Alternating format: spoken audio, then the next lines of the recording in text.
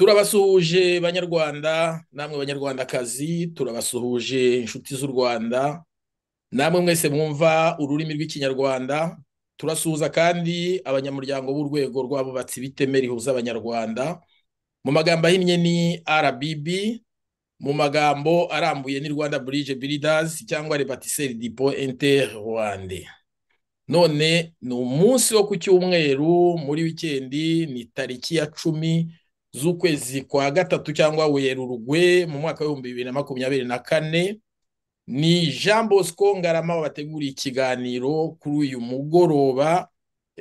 Ikiganiro gifite insanganyamatsiko igira iti ni kuki paul rusesabagina na porofeseri kambanda bakomeje kwibasirwa? Muri iki kiganiro rero turinjira muri detaye cyangwa mu bisobanuro bisanzwe mu kanya ariko mbere y'uko dutangira dufite umushyitsi ndamwita umushyitsi kuko yari amaze igihe ataboneka kuri ekara za radiyo televiziyo RBB dufite umushyitsi muri studio za radiyo televiziyo ya RBB ndagira ngo asuhuze abakurikiye ikiganiro. Ijambo ni iryanyu yarakoze ngarama unyise umushyitsi ariko ndo umusangwa.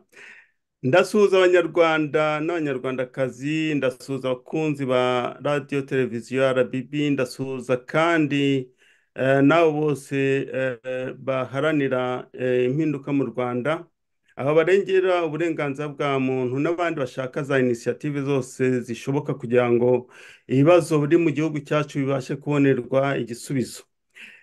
Ngarama rero ndagushimiye kuba wantumiye kuko hashize igihe koko mpinduka umushyitsi kubera igihe maze ntaboneka.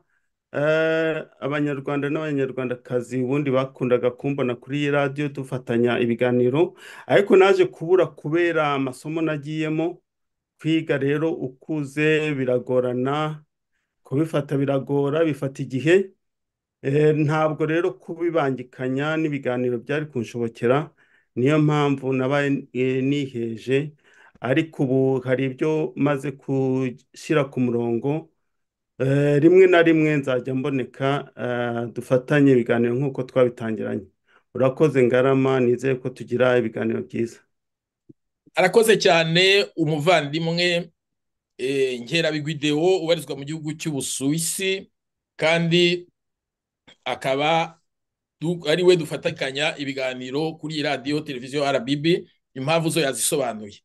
Umutwe rero w'ikiganiro cyangwa insanganyamatsiko y'ikiganiro namaze kuyivuga mu kanya turibaza impamvu tuti ni kuki rusesabagina na porofeseri kambanda bakomeje kwibasirwa muri kino gihe? Ibyo hari benshi bavuga batese aba bantu nubwo nyine tutarinjira mu kiganiro nyirizina ibi bintu babikura he dufite muri kino gihe dufite ibiganiro bitandukanye byagiye bikorwa byibasira aba banyarwanda bombi uko ari babiri. Icya mbere rero nshaka kuvuga ni uko hari n'ushobora kwibaza atese kuki bagiye kuvugira bari abagabo kandi tuzi ko ari abagabo b'inararibonye? Nta gitangaje kirimo muri gahunda zacu mu bwitange bwa buri wese ku giti cyiwe abo tuvugira ni abanyarwanda. Iyo tubona ubutegetsi bw'i kigali buri kubangamira abanyarwanda turabuvugira. Niyo butari kubabangamira hari n'ibindi dushobora kuvugaho bijyanye n'inzira z'amajyambere n'uburyo abanyarwanda bashobora gutera imbere n'uburyo mu rwanda haba impinduka cyane cyane ko ni cyo duharanira. Ikindi ni uko buri munyarwanda wese utitaye ku wo ari we cyangwa ku cyo akora cyangwa ku bumenyi afite buri wese iyo tuvuga ni we tuvugira kimwe n'uko n'undi wese uvugira abanyarwanda twese tuba turimo. Ndatize cyane rero hari inkuru zasohotse mu bitangazamakuru bisohoka ku mbuga nkoranyambaga bitandukanye. Izo nkuru hakaba hari ikiganiro twabonye gifite umutwe ugira ngo ba patenazi bacu. Utudomo tubiri bati twarumvikanye ikibazo ni Thomas Nahimana Grex na Grex kimaze ibyumweru bitatu gitambutse. Bitaratinda abatambutse ikindi cyitwa ngo kambanda n'abazungu mu myiteguro yo gusimbura Kagame barakataje. Icyo kimaze iminsi itanu. Ikindi kiti pariroma y'ubwongereza na rusesabagina badukiniye indi filime. Icyo kimaze ibyumweru bibiri. Ikindi na cyo kiti inyandiko ikindi na cyo kiti nibarize kambanda niba abahutu batatora abatutsi abategeka ubu hari utudomo twakurikiyeho sinashoboye kubikurikirana neza kimaze ibyumweru bitatu. Ikindi bukoreho referanse kiravuga ngo inyandiko ihamagaza perezida kagame kwitaba urukiko kimaze ukwezi. Nyuma y'uko tubonye ibi biganiro byose narabikurikiranye nubwo ibiganiro ari birebire ariko nagiye ngerageza gufata note numva ibikubiyemo n'ibiganiro birimo ibibazo biri ngombwa ko abantu babiganiraho. Uribaza wowe ukurikiye ikiganiro kimwe n'undi uzagikurikira tese kuki mwahisemo ibyo biganiro kuba ari byo mukurikira? Impamvu. Mu mwaka w'ibihumbi bibiri na makumyabiri na kabiri kuri radiyo urumuri hari ibiganiro twateguye twakozeho birenga nka bitatu ni gahunda twari twihaye yo kujya cyane cyane dukebura bamwe mu banyapolitiki batandukiraga bakarenga inshingano zabo za politiki bakinjira mu buzima busanzwe bw'abanyarwanda cyangwa se bw'abanyapolitiki bene wabo bamwe ntibasibaga no kwibasira bagenzi babo ugasanga mu by'ukuri icyari politiki cyahindutse cyahindutse kurwanyana cyangwa guterana amacumu. Ari naho naheraga mvuga ijambo nti bigaragara yuko muri opozisiyo havutse indi opozisiyo ubwo ni opozisiyo kuri opozisiyo icyo reka nyireke icya kabiri ariko icyo twari tugamije muri rusange kwari kugira ngo tugire abantu inama. Ibiganiro twarabikoze biyoborwa n'umugabo witwa simunga aroyizi nyuma haje kuba impamvu zituma ibyo biganiro bidakomeza ariko nta n'icyo bitwaye aho twari tugejeje hari heza twari tumaze gukora ibiganiro birenga bitatu. Uyu munsi wa none rero hashize nk'urugero buno hashize amezi arindwi. Kuri iyi televiziyo niyo mpamvu nifuje ko ikiganiro ndi kumwe na mugenzi wanjye na mugenzi wanjye deo. Hashize amezi arindwi dusohoye ikiganiro. Ikiganiro twakise ngo ese koko padiri nahimana akorana na kigali? Naho se porofeseri kambanda naho reka ni byo biza kugaragara naho twashaka kuvuga ko kambanda nawe bari bamwikomye icyo gihe. Inyuma y'ineza. Icyo kiganiro mu bigi kigize cyangwa mu byo twavuzemo imbere twagarutse ku buryo abantu bari batangiye kwikoma. Benshi batandukanye bikomaga Thomas Nahimana ni abantu twari tuzi nta mazina twavuze. Tusobanura ibintu Nahimana yashoboye gukora byiza kandi byubaka umuryango nyarwanda. Twereka abantu ko umuntu banenga ni umuntu ukora udakora ntibamurenga. Bityo tunashishikariza bwana Nahimana kugira ngo akomeze umurimo wiwe ntiyumve imirindi y'abirukanka bahogera we yikomereze gahunda kandi uyu munsi wa none turabimwifuriza. Icyo kiganiro kikaba cyaragize ingaruka nziza cyane. Abo twabwiraga twakoze n'uburyo tunabibasharingira ibiganiro byacu ikiganiro cyacu barakibonye ari icyadushimishije nuko ntabongeye kumutera amacumu.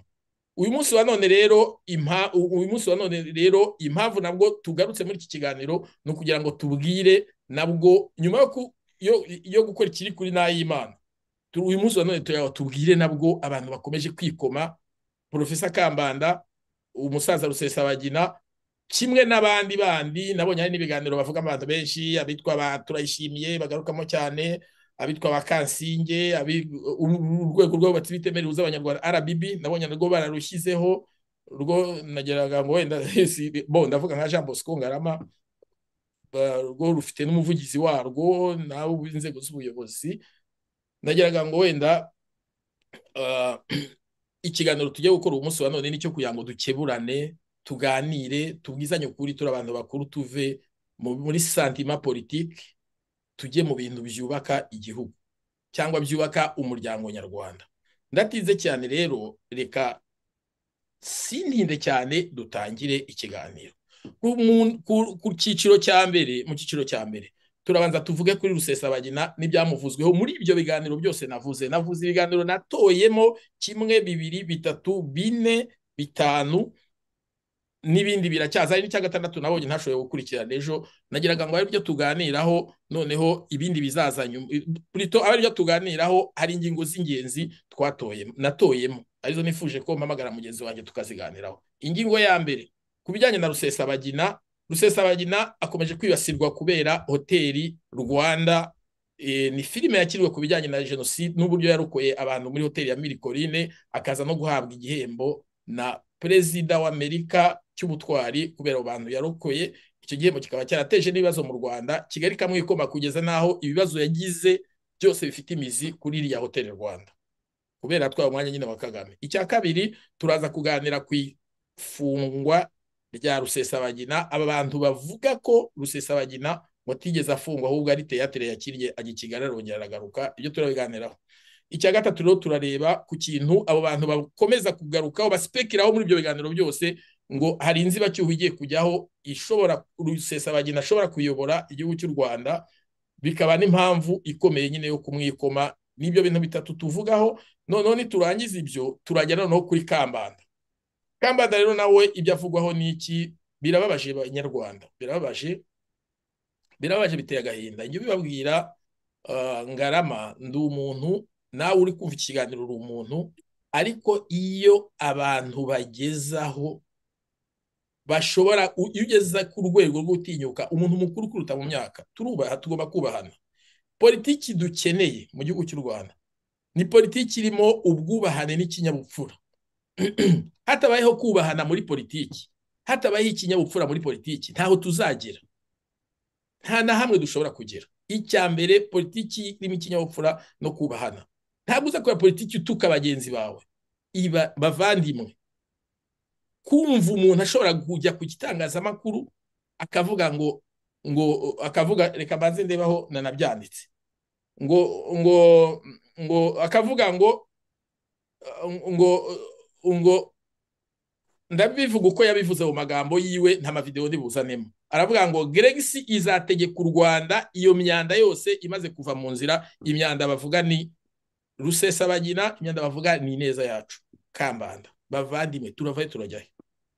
Ubushize nateguye ikiganiro hano hari umuntu mu kinyamakuru mu rwanda hari umuntu wanditse ngo ngo barafata abantu bafungiye muri nigeri bari abantu bacu bafungiye muri nigeri ngo nka deshe nikereyeri nakoze ikiganiro ndababara navuze n'amagambo menshi bituma hari n'ayancitse n'ayancitse nsa n'uwabatutse kandi ubundi mu muco wanjye ntabwo nkunda gutukana. Mu by'ukuri deshe nikereyeri ku buzima bw'umuntu w'umunyarwanda. Uramwita deshe nikereyeri uyu munsi wa none umuntu aravuga ngo umwanda. Rusesabagina kambanda umuntu agahaguruka kuri radiyo akavuga ngo kamba porofeseri kambanda sharire ngo nibandi. Bavandimwe twumvikane tuve mu magambo nta politiki ndi gukora ngarama jean bosco nta kikari ya politiki ndimo nta niyo nteganya kujyamo nanarigiyemo nzabibwira abantu bazabimenya nta politiki ndimo nimba ushaka gukora politiki. Kora politiki neza ureke politiki yo gutukana no kwandagaza rwose. Ntabwo ikiremwa muntu mu by'ukuri ntabwo ayo magambo aranamba kuyavuga ubwanjye nyakura mu kanwa subiramo ibyo abandi bavuze. Banumva biteye agahinda. Reka ntangire ku cya mbere kugira ngo ndatinda cyane mpereze na mugenzi wanjye ijambo. Reka duhere ku ifungwa rya rusesabagina. Muri ibyo biganiro bakoze batangira bavuga ngo bavuga amateka ya rusesabagina kugera aho yabonye yakoze iriya hoteli bakoze iriya filime hoteli rwanda. Ngo ikamwitirirwa niko babivuga ngo nta bitekerezo byiwe yatanzemo. Bakomeza bavuga muri iriya hoteli rwanda reka ndebe aho nabyanditse nagerageje kubyandika kugira ngo ntaza kwibagirwa. Muri iyi hoteli rwanda baravuga ngo ubwabo ba nyir'ubwite sindi bavuga amazina. Navuze ibiganiro ushaka azagenda byumve biratinda bimara amasaha atatu n'iki nakoze igishoboka cyose ndabyumva kuramo iby'ingenzi. Muri iyo hoteli muri muri uko babivuga rero kuri hoteli rwanda bavuga ko atari igitekerezo cya paul rusesabagina. Reka maze rero mbere yuko ninjira nyirizina ku byo bavuze bavandimwe. Ndababaye mu gukora iki kiganiro ndababaye pe. Ubundi ntibisanzwe kugira ngo umuntu abe yavuga kuri ku byo abandi bavuze. Sinabikunda ngewe n'ibiganiro nta santima ubundi za politiki ngira cyane ko nta na mashyika ya politiki mpamvu nta butegetsi ishaka undi kurwanira ngewe ariko nkeneye ko mu rwanda habaho impinduka. Muri ubwo rusesabagina yahabwaga kiriya gihembo cyo kuba hero kubera iriya hoteli rwanda. Ni mu myaka y'ibihumbi bibiri sinzi ku mwaka neza munyihanganire mu bishake murabibona. Numvise ikiganiro kuri radiyo bbc bbc bavugaga iki? Bahaye ijambo. Rusesabagina akimara kwambika uriya mudare na bushi bahaye ijambo abantu kugira ngo bavuge kuri rusesabagina kumva n'imvano ndabyibuka ni ari hasani mugenzi nimba nibuka neza. Bahereza ijambo umugore witwa odeta nyiramirimo wahoze ari minisitiri menyari w'umuryango mu nkotanyi. Bamuhaye ijambo njye nabaga mu rwanda nta rusesabagina sinarimuzi nta n'amakuru menshi yatambukaga muri biriya myaka n'ibintu bya interineti byari bitangiye kuza ku buryo umuntu ashobora gusoma. Odetangira mirimo arisobanura kuri BBC aravuga ngo asebya rusesabagina avuga ngo nawe yarokokeye kuri mirikorine ngo ariko ngo nubwo yahabaye ngo baramwishyuzaga ngo ntabwo n'ubutwari bwa rusesabagina ngo hari n'andi mafagitire ngo basize batishyuye basinyiye ngo ariko baje kuyishyura. Icyo rero nagifashe nk'igikorwa mu by'ukuri cy'abantu bafashwe bugwate na FPR inkotanyi kandi biranumvikana ko yari mu Rwanda yabaye na minisitiri wabo. Wenda turavuga tuti ni umuntu waguzwe na FPR inkotanyi. Uyu munsi wa none urebye ibyo aba bantu batangaza baravuga ngo rusesabagina ni intwari baravuga ngo intwari z'impimbano ntazo dukeneye. Nibo bavuze muri icyo kiganiro ko rusesabagina kuri bo si intwari ni intwari y'impimbano baragusha mu buryo odetagira mirimo yavuze. Bavuga bakomeza bavuga ngo ntaho tumuzi. Ikindi bakugarukaho ni ukuvuga ko mu kumubeshyera ko yagize ubutwari ngo ngo bwo gukiza abatutsi bavuga ko abasirikare barimo generali bizimungu ari bo bamuzaniraga abo abantu bahishwa kuri mirikorine ariko ngo muri filime bagaragaje rusesabagina umuntu cyangwa rusesabagina akubita bizimungu urushyi ngo nawe kubaha amayoga n'ibindi. Noneho bakavuga yuko rero rusesabagina atagombye kuba yarabaye intwari kubera ngo hari ba bizimungu bamufashije bazana ba bizimungu si iryo zina niryo rivugwa muri ibyo biganiro byose uko ari bitanu. Bakavuga rero yuko ngo bizimungu ngo n'ahafungiye ntabwo rusesabagina yigeze ajya kumushinjura bagakomeza nyine bavuga ko nta butwari burimo. Ndetse bagera no ku rwego rwo gutegeka rusesabagina kugira ngo gukora indi filime y'ukuri iyo ngiyo ntabwo ariyo bakavuga ko n'ibihembo yahawe atabigombaga kuko ngo ni byo yakinishijwe kubera inyungu z'abazungu. Reka ibyo mbe bihiniye aho ko nafashe umwanya munini cyane mugenzi wanjye nawe agira icyo avuga ku bijyanye n'iyi filime yambura rusesabagina ibyo bavuga bisa naho bambura rusesabagina ubutwari yagize. Mbere ko mugenzi wanjye avuga nagira babwire ko igihe igihembo cyatanzwe na leta zunze ubumwe za amerika ndumva ndumva rusesabagina yarahawe umudare awambikwa na perezida george bush. Rero tukiri aho rwose icyo navugaho ni uko nta igihembo cyatanzwe na leta zunze ubumwe za amerika nta muntu ushobora kugihindura. Keretse igihugu cya amerika wenda gifashe uburenganzira kikavuga tuti kiti twemeje ko tuwumwatse ariko nabwo biragoye. Kugira ngo impamvu mvuga ko badashobora kubihindura ni na yo mpamvu yatumye afungwa akajya i kigali ejo akagaruka turaza kubivugaho. Turi kuri kiriya cya filime rwanda gusa. Deo wabyumvisha ibyo bavuze ugira icyo ubivugaho nimba aba bantu babivuga koko bafite ububasha bwo kwambura rusesabagina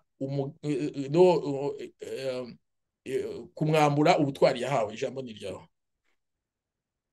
ya urakoze ngarama kumpa ijambo ndumva ni ubwa kabiri nza kuri radiyo kuvuga ibya rusesabagina. Ubwa mbere dayeri ni nawe watumye ndumva ubwa mbere mvugira ku bya rusesabagina byari kuri radiyo ubumwe. Igihe abo mu rwanda bamwibasiraga uriya mugore bagasasira nyiramirimo ndetse na na premier minisitiri makuza bavuga ko bamwe batahaze abandi ko ngo atabafashije. Ariko ngewe nditemwe okirere ikibazo kiba mu banyarwanda ni uko dukunda kuvuga impuha ibyo twumvise cyangwa se ibigomba gusenya mugenzi wacu gusa akaba ari byo duha imbaraga. Ariko ntituvuge ibyo twahagazeho cyangwa ibyo twaba twarakoze. Noneho ubutwari nta muntu ubusaba ahubwo habaho za sirikonsitanse zituma uba intwari. Bavuga ko ngo hari benshi bakoze nk'ibyo yakoze batahembwe iyo wabaye intwari ntabwo uhembeshe. Ahubwo hari abantu babibona bakabona ko wabaye intwari hakaba hari abagira amahirwe bagahembwa nk'uko rusesabagina byamubayeho hakaba n'abagira abatagira ayo mahirwe n'ibyo bakoze ntibigaragare ndetse bamwe bakazira n'ibyo bakoze kuko hari benshi bafunzwe bazira ibyo bakoze kuko muri sitari y'abanyarwanda harimo ibinyoma byinshi aho kugira ngo dushime uwatugiye neza akenshi dukora ku buryo tumushyira aho yadukuye. Ibyo ndongera no kuvuga ndongera no kuza kuri uriya gisimba wapfuye mu rwanda yararwaye arapfa. Ariko iyo urebye ukuntu yapfuye bari baramugize ngo mu barinzi b'igihango ariko iyo urebye ukuntu yapfuye ntabwo bigaragaza ibyo yakoze. Ntabwo vurema bamwituye bingana n'ubutwari yaba yaragize bwo gutabara abo bantu. Nibyo koko hari benshi bagize ubutwari bwo gutabara aba bantu ariko uyu navuga ko ashobora kuba ambasaderi ashobora kuba umwe mu bahagarariye abagize ubwo butwari noneho rero kuvuga ko ngo yaba yarakinnye filime ngo iyo filime ngo ko harimo aho yarukubise bizimungu urushyi n'ibindi njye numva icyo kibazo kitareba rusesabagina. Kuko rusesabagina we yakoze igikorwa cy'ubutabazi. Ntabwo ari umukinnyi wa filime rusesabagina ntabwo ari wanditse iriya filimi ahubwo bafashe isitwari ye bayikoramo filimi. Baramwitirira bamuha igihembo. Igihembo cyo kijyanye n'ibyo yakoze. Ariko ntabwo bamuhaye igihembo cy'uko ari umukinnyi wa filime w'igitangaza. Rero nyiranganira gato si ukuguca mu ijambo. Hari igihe muri filime bafata n'umuntu agasimbuka imisozi itatu cyangwa ine cyangwa itanu. Ku isi nta muntu tuzi wigeze asimbuka umusozi. Komeza. Muri filimi habamo amakabya nkuru mwagiye mubona ibya rambo mwagiye mubona amafilimi menshi arimo amakabya nkuru ibyo bibamo ariko ibyo ntabwo rusesabagina yabizira kuko ntabwo ari we wanditse iyo nyandiko. Abantu rero bajijutse bagombye kujya bereka rubanda iki ibintu uko bikorwa nk'umuntu uba muri etazini abazi uburyo amafilimi akinwa ntabwo yagombye kujya gufata inkuru ngo ajye kuri televiziyo amara amasaha atatu ari gukabya inkuru ari gusebya umuntu ari kumurwanya ngo ibyo yakoze ngo ntabwo ari byo kandi we igihe aho hantu uwo muntu yari ari atari ahari atarashoboraga no kuhagera. Adashobora no kwerekana n'umuntu umwe wenyine yaba yararokoye umwe. Noneho rero kuvuga ko rusesabagina yaba yarakubise bizimungu ibyo ni muri filimi. Ntabwo ari rusesabagina wanditse ibyo bintu. Nta n'ubwo nawe wavuze ko byandikwa. Nta n'uburenganzira yari afite bwo kubikuramo kuko ntabwo filimi nk'uko babivuga ntabwo ari iye barayimwitiriye. Bakoze isitwari ya rusesabagina bakoramo filimi barangije babyita hoteli rwanda bakurikije ibyabaye. Rero numva icyo kintu atakizira noneho bizimungu kuba ataragiye gutanga ubuhamya kwa bizimungu sinzi niba rusesabagina baramutanzeho ubutemanyaje ntageyo numva rero ntabwo wajya gutanga temonyaje mu bintu utahamagariwe kuko ngewe ubabwira nageze kuri mirikorine nageze kuri senti famiye ibintu byinshi byabaye muri kigali nabigiyemo nagiye gutanga ubuhamya mu rubanza rumwe gusa. Nta muntu wigeze ambaza ibi ntabwo wajya ku karubanda ngo ujye kuvuga ibyo utabajijwe. Rero yanganira gato si ukuguca mu ijambo turi mu kiganiro turuzuzanya. Hari ikintu cyiza wari uvuze kijyanye na temowanyaje mu nkiko. Hari uburyo inkiko zikora ko duruwa yose n'imwe ku isi urukiko kubera impamvu runaka kugira ngo rushyire ukuri ahagaragara rushobora guhamagaza umutangabuhamya kugira ngo aze gutanga ubuhamya ku bijyanye n'ikiburanwa. Ni kimwe n'uko uregwa nawe ashobora gusaba ko hari umutangabuhamya uza mu rubanza rwe kugira ngo asobanure uko ibintu byagenze. Ahubwo abo bantu baba bafite ibimenyetso by'uko rusesabagina yahamagawe n'ubushinjacyaha ngo buze kubafasha gutanga ibimenyetso cyangwa se uregwa yaba yaramutanzeho umutangabuhamya rusesabagina kujyayo. Komeza urakoze cyane. Ya ubwo rero urumva niba atarigeze ahamagazwa ndumva atari ikibazo cye. Njye nagiye arusha inshuro imwe hari njye gutanga ubuhamya ariko ntabwo nta wundi muntu wantanzeho cyangwa nta n'ibyo byabaye ngombwa ko bampamagara. Rusesabagina rero sinzi niba yaratanzweho ubuhamya akanga kubutanga kuko ntabwo yakwijyana mu rukiko ngo ajye gutanga ubuhamya. Impamvu rero dukomeza kuvuga kuri rusesabagina ni uko hari abantu bafata isitwari y'umuntu bakayisiga amase kugira ngo bo bagaragare.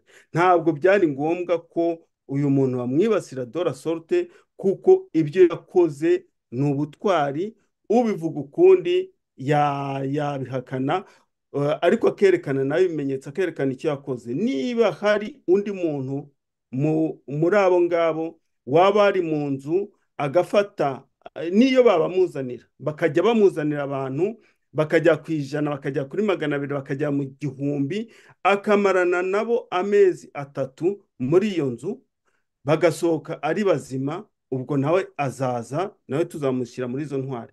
Nkeka ko no kuba wari ufite umututsi umwe mu nzu cyari ikibazo gikomeye cyane no kuba wari umufite umwe mu modoka wari ufite ni urubanza rw'urupfu. Bahitaga bakwica wagombaga kumenya uburyo ubisobanura cyangwa se ubinyuramo.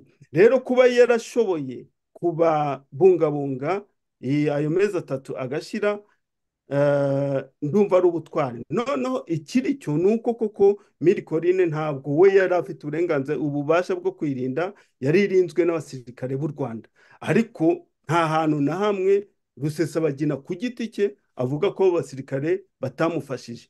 Filimi ibyo ivuga ni filimi. Ariko rusesabagina we ibyo bamushimira ni uko yabashije omwe gufata iyo inisiyative akarezisita amezi atatu agashyira abo bantu bagasohokamo ari bazima ntawapfuye ntawakomeretse njye numva ari ubutwari. Kuko nta wundi nzi nta handi hantu nzi hari umuntu wafashe iyo resiponsabirite akankadira abo bantu agatuma batagira icyo baba. Noneho ikiri cyo ibyo bavuga ngo ntacyo yakoze nubwo hari abasirikare. Ni kimwe n'aho kuri senti famiye aho uriya padiri munyeshyaka yari ari hari ubwo hazaga ibitero by'interahamwe. Interahamwe kandi nyinshi ntabwo senti famiye cyangwa miri korine barinzwe n'abasirikare igihumbi. Habaga hari abajandarume bagera nko kuri batanu.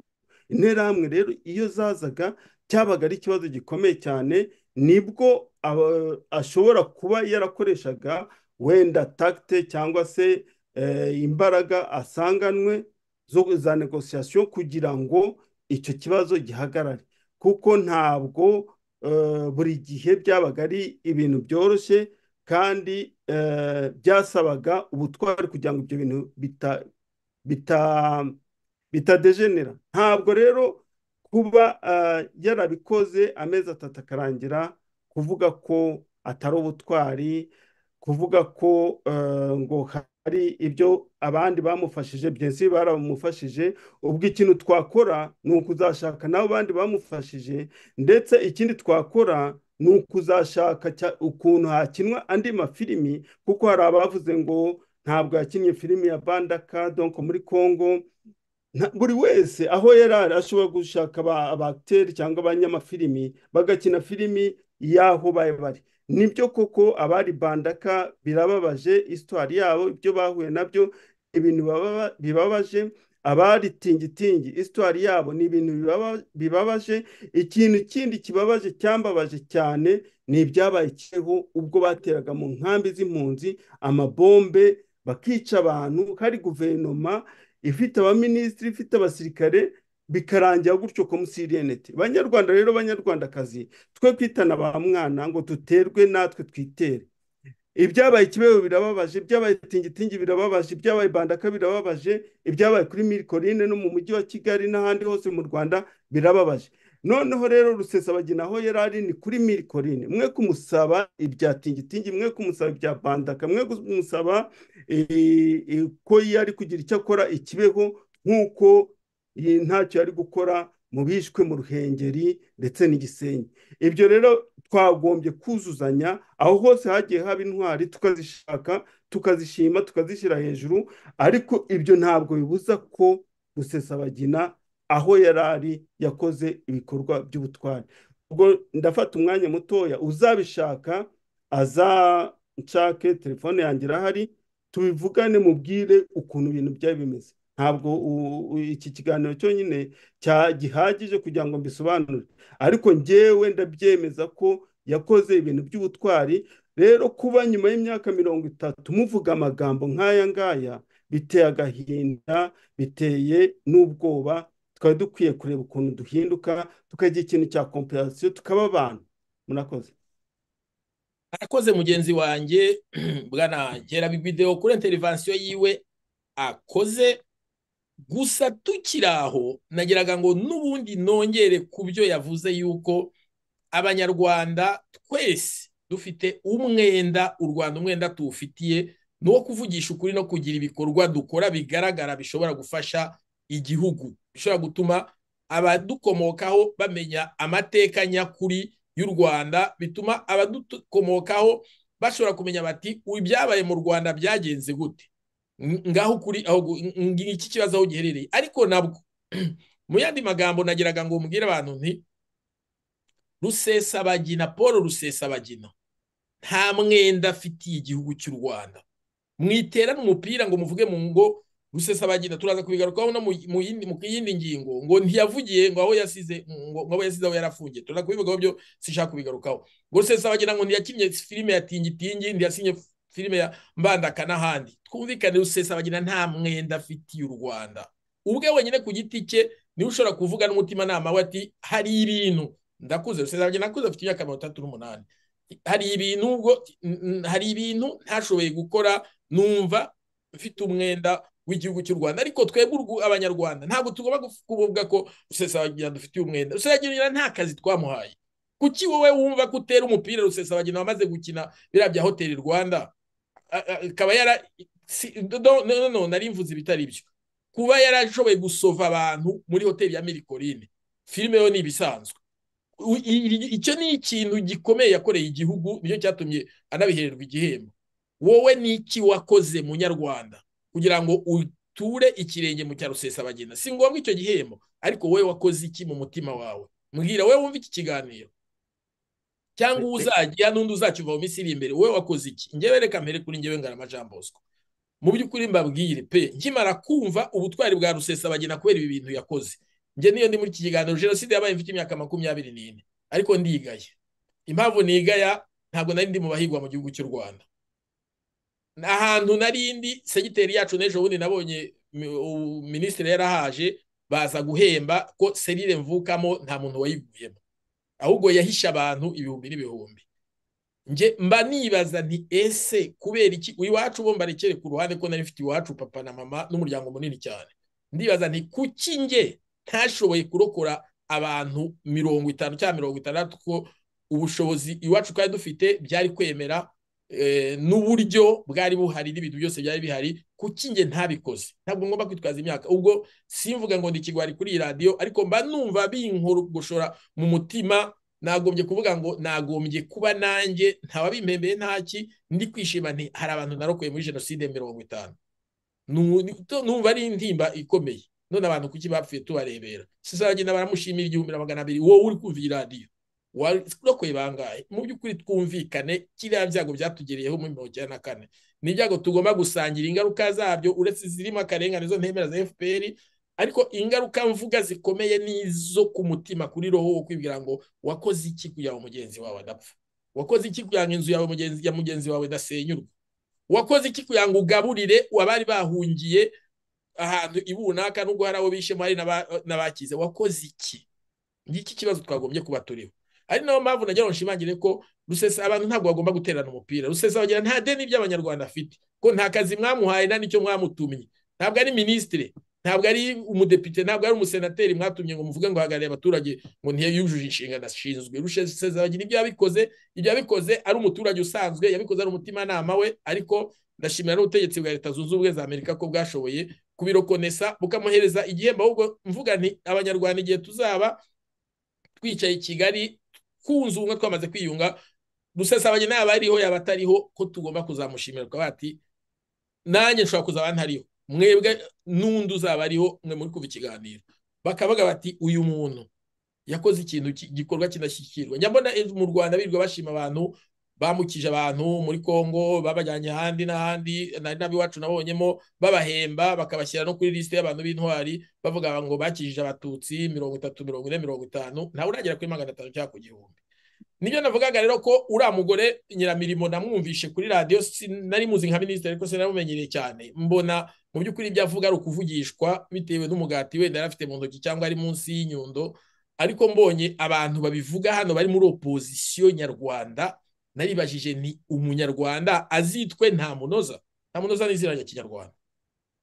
Rusesabagina ibyo yakoze ni ibikorwa bikomeye. Reka sintinde cyane wenda akantu umuntu yibagiwe aragenda akagarukaho kugira ngo duhuze igihe n'umwanya babyita mu kinyarwanda ngo ni ugucunguza umwanya igihe. Reka tujye mu bijyanye n'ifungwa rya rusesabagina ko twibagiwe turakinjizamo n'ubundi. Sibyo bavandimwe mukurikiye iki kiganiro. Ntihagire abazumva ko kuba twakoze iki kiganiro ari ukwibasira bagenzi bacu babikoze ibyo babivuze ni ugukeburana kugira ngo tureke kujya mu bintu byo kuzana ibintu byo kuryana. Nka kwa kundi kagame yavuze ngo bameze nk'isenene. We ntabwo ari byo ibyo tubireke imbere natangiye byita opozisiyo tureke na opozisiyo tujye muri sanse y'ubumuntu. Umuntu yakoze ikintu cyiza aragihemberwa wowe utaragize icyo ukora shima uwagize icyo akora cyangwa ugire ikindi wakongeraho ariko ntujye gutesha agaciro uwagize icyo akora yakoze umunsi wa none hari benshi nzi. Sinziranye na rusesabagina muzi mu nyandiko muki mu kuvuga ariko hari benshi nzi bavuga ko kuba bakiriho babikeshejwe n'uko yabafashije. Ndetse kuki mu rwanda hari amahoteli angahe? Hari za meridiye n'ahandi. Kuki n'ahandi harokokeye abantu? Ni impamvu iki twasobanura? Hoteli mirikorine niyo yabaga mu rwanda yonyine. Hari n'ibigo bindi by'abihayimana aho za senti famiye wanahavuze mu kanya hari n'ahandi handi hatandukanye. Kuki n'ahandi habereye ibintu nk'ibyo muri mirikorine?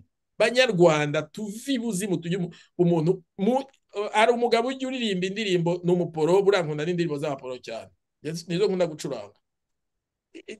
Yaravuze mu ndirimbo aririmba aravuga ngo iyo imana igutunze imana niba ari gutunze inkoni. Ntawe ugutunga urutoki. Uwo muhamagara ibyo yakoze ntiyabyishoboje rusesabagina ku bwe hari n'imana kandi nzi ko rusesabagina yemera imana. Nimba ibyo yarabigezeho kuki wowe wumva ushaka kwitwara nka rusesabagina kandi imana yamutunze inkoni? Agira amahirwe bamwambika n'uwo mudari uwo ashaka kwambika umubare umudari wowe nk'uwa rusesabagina yambaye. Tubwire icyo ufite. Ufite iki? Ugenderaho gituma ushaka kugira ngo uvuge ko wenda wasofye abantu ibihumbi bibiri rusesabagina ari igihumbi na magana abiri. Ibyo si byo ngambiriye ariko mu by'ukuri tujye tureka gukabya. Twemere ko umuntu wagize ibyo yakoze agomba guhembwa na bibiriya bitubwira turi abakirisitu baravuga ngo uwakoze neza azahembwa uwakoze nabi ntazahembwa. Ikibazo ni ukuvuga ngo utaragize icyo akora ari rwo rwego nashyiramo abavuga rusesabagina wenda bafite nabo ibyo bakoze bazabitubwire ahubwo bazaze batagatemanya y'ibyo bakoze.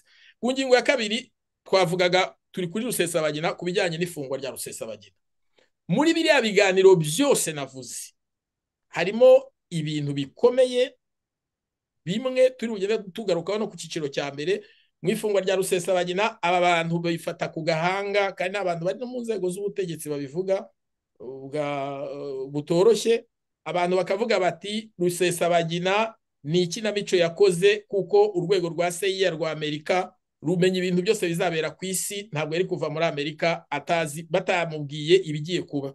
Ikindi cya kabiri baravuga ngo ntabwo yagiye mu rwanda bimutunguye. Ni mu magambo yabo bavugamo niyo nsubiramo. Ntabwo yagiye mu rwanda bimutunguye ngo amerika yari ibizi nawe yari abizi aho agiye ngo ahubwo ryari ikinamico bagiyemo yo kwifungisha kugira ngo yongere agaruke. Barakomeza bavuga ngo yari agiye muri taranzisiyo ngo yari agiye nyine gushyiraho ubutegetsi bw'inzibacyuho mu rwanda ngo agezeho birahinduka ngo bityo ngo bakora ya kinamico yo kwifungisha kugira ngo yongere agaruke muri amerika.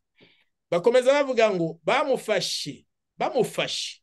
Umwana we w'umututsikazi karine karimba ngo bahise bamugira intwari.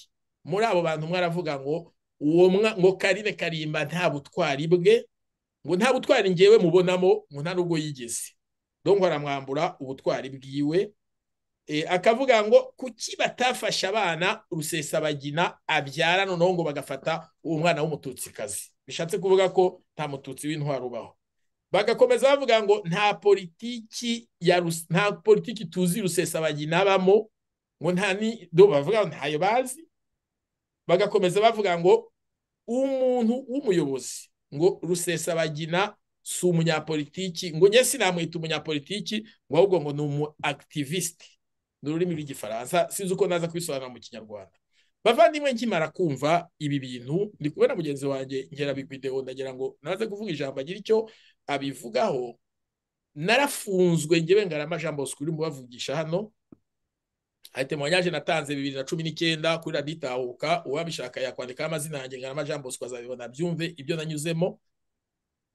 Namaze amezi atandatu mfungiye kami nambaye amapingu nanyuze ahantu nafungiye ahantu hatandukanye harindwi nsoreza muri gereza disine futarandi ububabare bwa gereza uburibwe ufunzwe buri wese azakubita buri wese azakubita buri wese azatera umugeri inda narahunguraga gutya nagira gate. Ariko icyo nshimira imana imana ni igitangaza nuko uyu munsi wa none ngihagaze gutya ndi kuvuga hari n'abambonye n'abajyaga bambona nigeze bandekura natashye ko iwacu baba bazi ko napfuye ngiye ku kiliziya nsohotse abantu bariruka. Bamwe bati yeee twari tuzi ko yapfuye. Bakoma amaki bakaza bifashe ku munwa bamwe banarira b'abadamu. Nageraga ngo mbabwire rusesabagina ifungwa rye muntu wese ufite umutima wa kimuntu wumva ko waremwe n'imana. Nimba utarigera ufungwa uzashimira imana. Ndabivuga nge namaze amezi iminsi magana atatu n'ine mfungiye ikame mu cyumba. Namaze amezi atandatu mfunze amapingu umuntu mu maboko gutya. Baza kuyankuraho.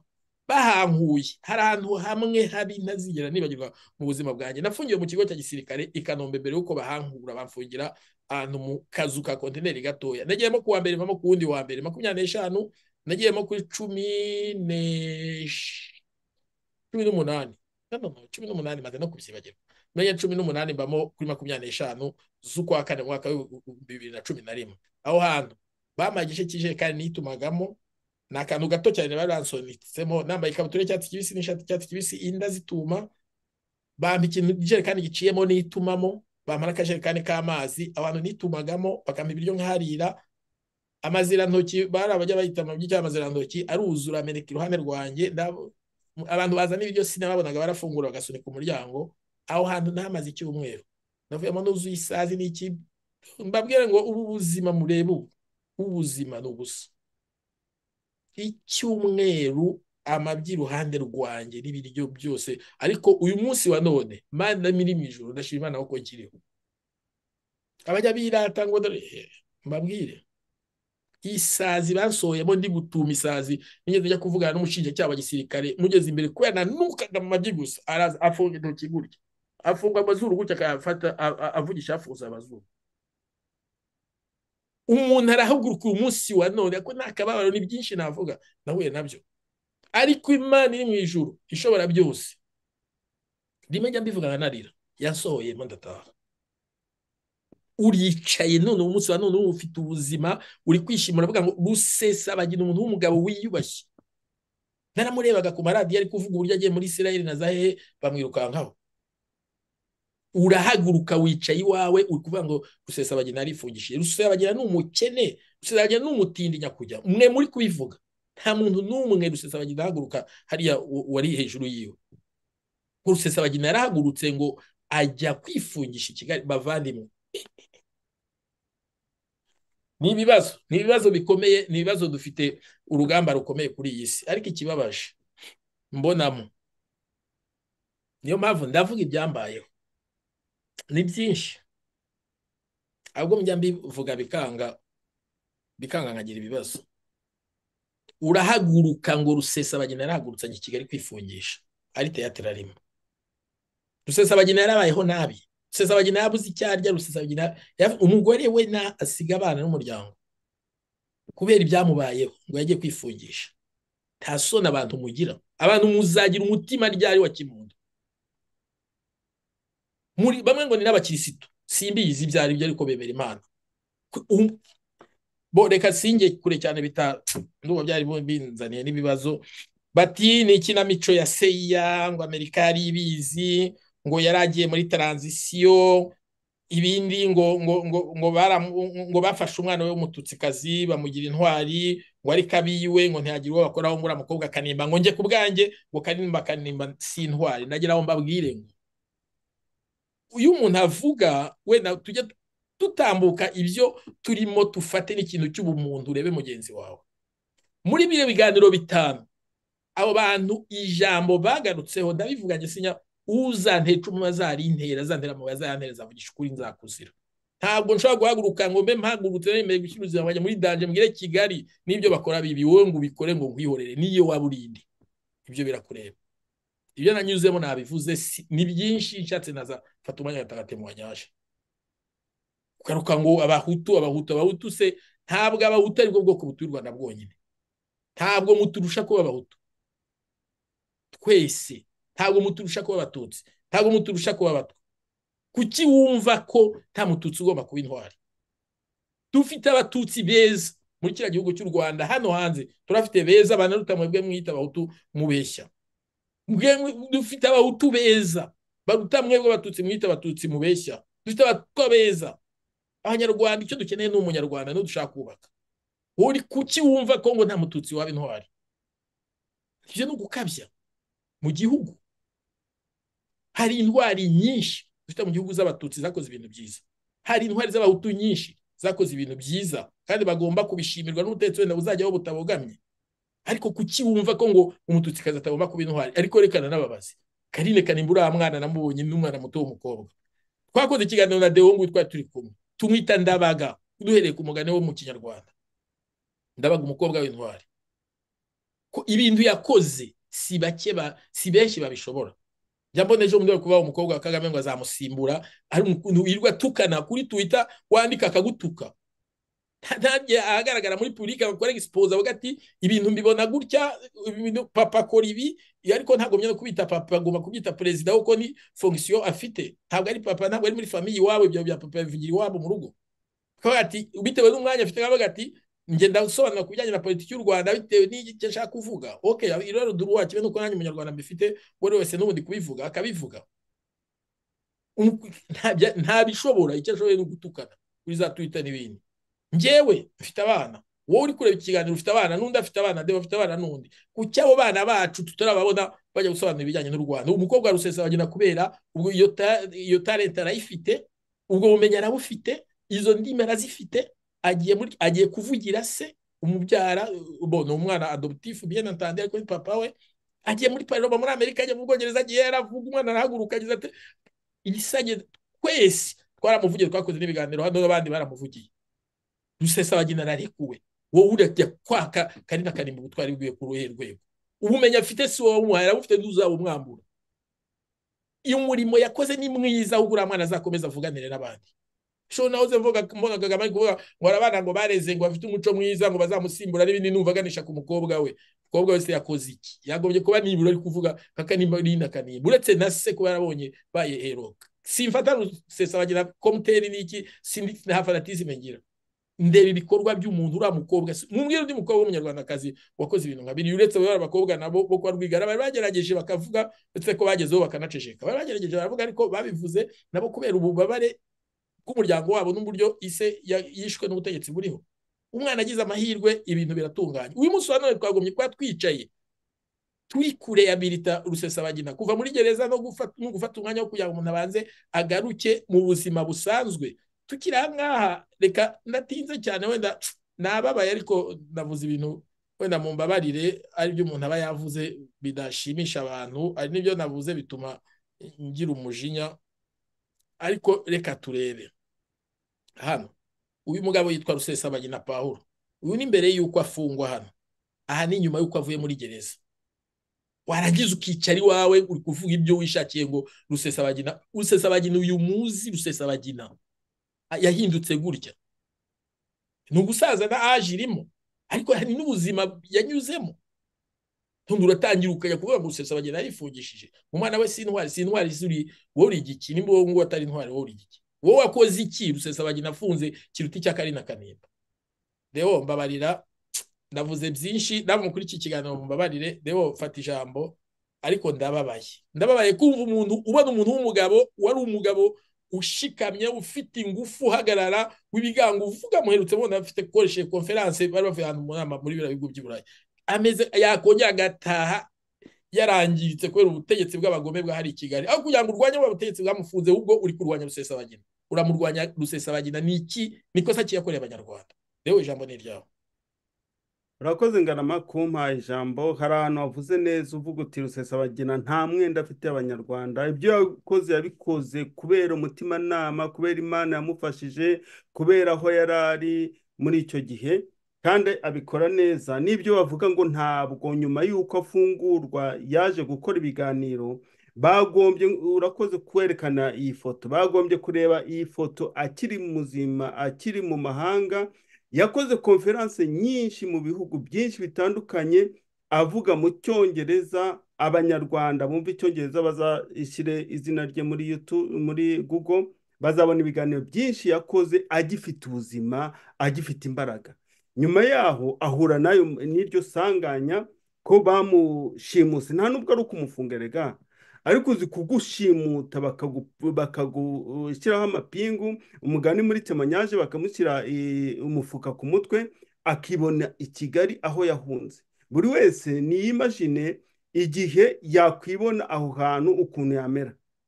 Nyuma rero y'igihe yamaze muri pirizo muri iyo torutire n'ibibazo yanyuzemo n'indwara yari arwaye kuko twe umukobwa we yakunze kubivuga ati papa agomba kubona imiti. Bagiye bakora za interivansiyo nyinshi basaba ambasade y'amerika kugira ngo ibafashe kugira ngo abone iyo miti. Abanyarwanda bose bazi ko imiti yagombaga kubona iparetreke ntabwo ndisi ko arwaye kanseri ariko iyo miti ntabwo bagiye bayimuha. Muri uko kutamuha imiti ni bwo yabaye umusaza gutyo kuko rusesabagina ntabwo angana n'uko asa uku nguku. Ubundi yagombye kuba agifite ubuzima nk'ubwo mufite. Iyo aguma aho yari ari ariko murabona ukuntu yangiritse ariko mukavuga ko ngo ari teyatere ari imikino. Ntabwo seya uba muri amerika mba mu busuwisi serivisi do nyuma ntabwo ziba zizi ibyo ndi gukora ahangaha icyakora ngize ikibazo wi ariko niba ngiye muri voyage ntabwo ziba zizi icyo icyo icyo aho ngiye. Simbizi niba wowe ngarama aho ugiye serivisi do nyuma ziba zizi aho uri seya. Guverinoma ya amerika ikamenya aho ugiye mu ngendo ugiyemo. Ni ibintu bidashoboka. Numva rero mwagombye kureka gukomeza kubeshya abanyarwanda no kubajijisha mukagerageza kuvuga ukuri kuko turashaka impinduramatwara turashaka ejo hazaza. U rwanda wifuza ruzaba rumeze gute? Ruzaba ruyobowe n'ibinyoma cyangwa ruzaba ruyobowe n'ukuri? Ruzaba ruyobowe n'abagabo bafite indangagaciro z'ukuri. Kuko niba ruzayoborwa n'ibinyoma ibyo nta kintu bizaba bimaze. Ni kimwe na fpr imaze imyaka mirongo itatu tuyoboza ikinyoma ntabwo nta cyaba gihindutse. Rero turashaka abanyarwanda bakora politike ariko politike y'ukuri politike ikiza abanyarwanda ibazamura. Atari politike yo kubakandamiza kugira ngo weho uzamuke uburirireho ukoresha ibinyoma bikomeye. Ntabwo nta muntu rero ushobora gukora ikinamico ryo gufatwa bugwate indege bakayiyobya biriya ni icyaha gikomeye cyane. Hanyuma bakagufunga muri buriya buryo usize umuryango usize abana urwaye n'indwara nk'iyo yari arwaye ndumva nta muntu muzima ufite ubwenge ushobora gutekereza ibyo bintu. Nkumva rero ibyo bintu ari iya politike ya mpemuke ndamuke cyangwa se ya ndirimbo bakunda ngo urashaka icy'ingarambe buri gihe abantu babona ibibi ibibi ibibi. Ntubone icyiza ku muntu ngo uvuge uti nyamara uyu muntu ibi bintu yakoze ni byiza tubishime. Kuko rusesabagina ntabwo yahunze ngo agere hanze aceceke yarakomeza aravuga. Nyuma rero y'uko abaye kuriya hari icyo bita depresiyo hari icyo bita agahinda hari icyo bita kubabara. N'indwara ye.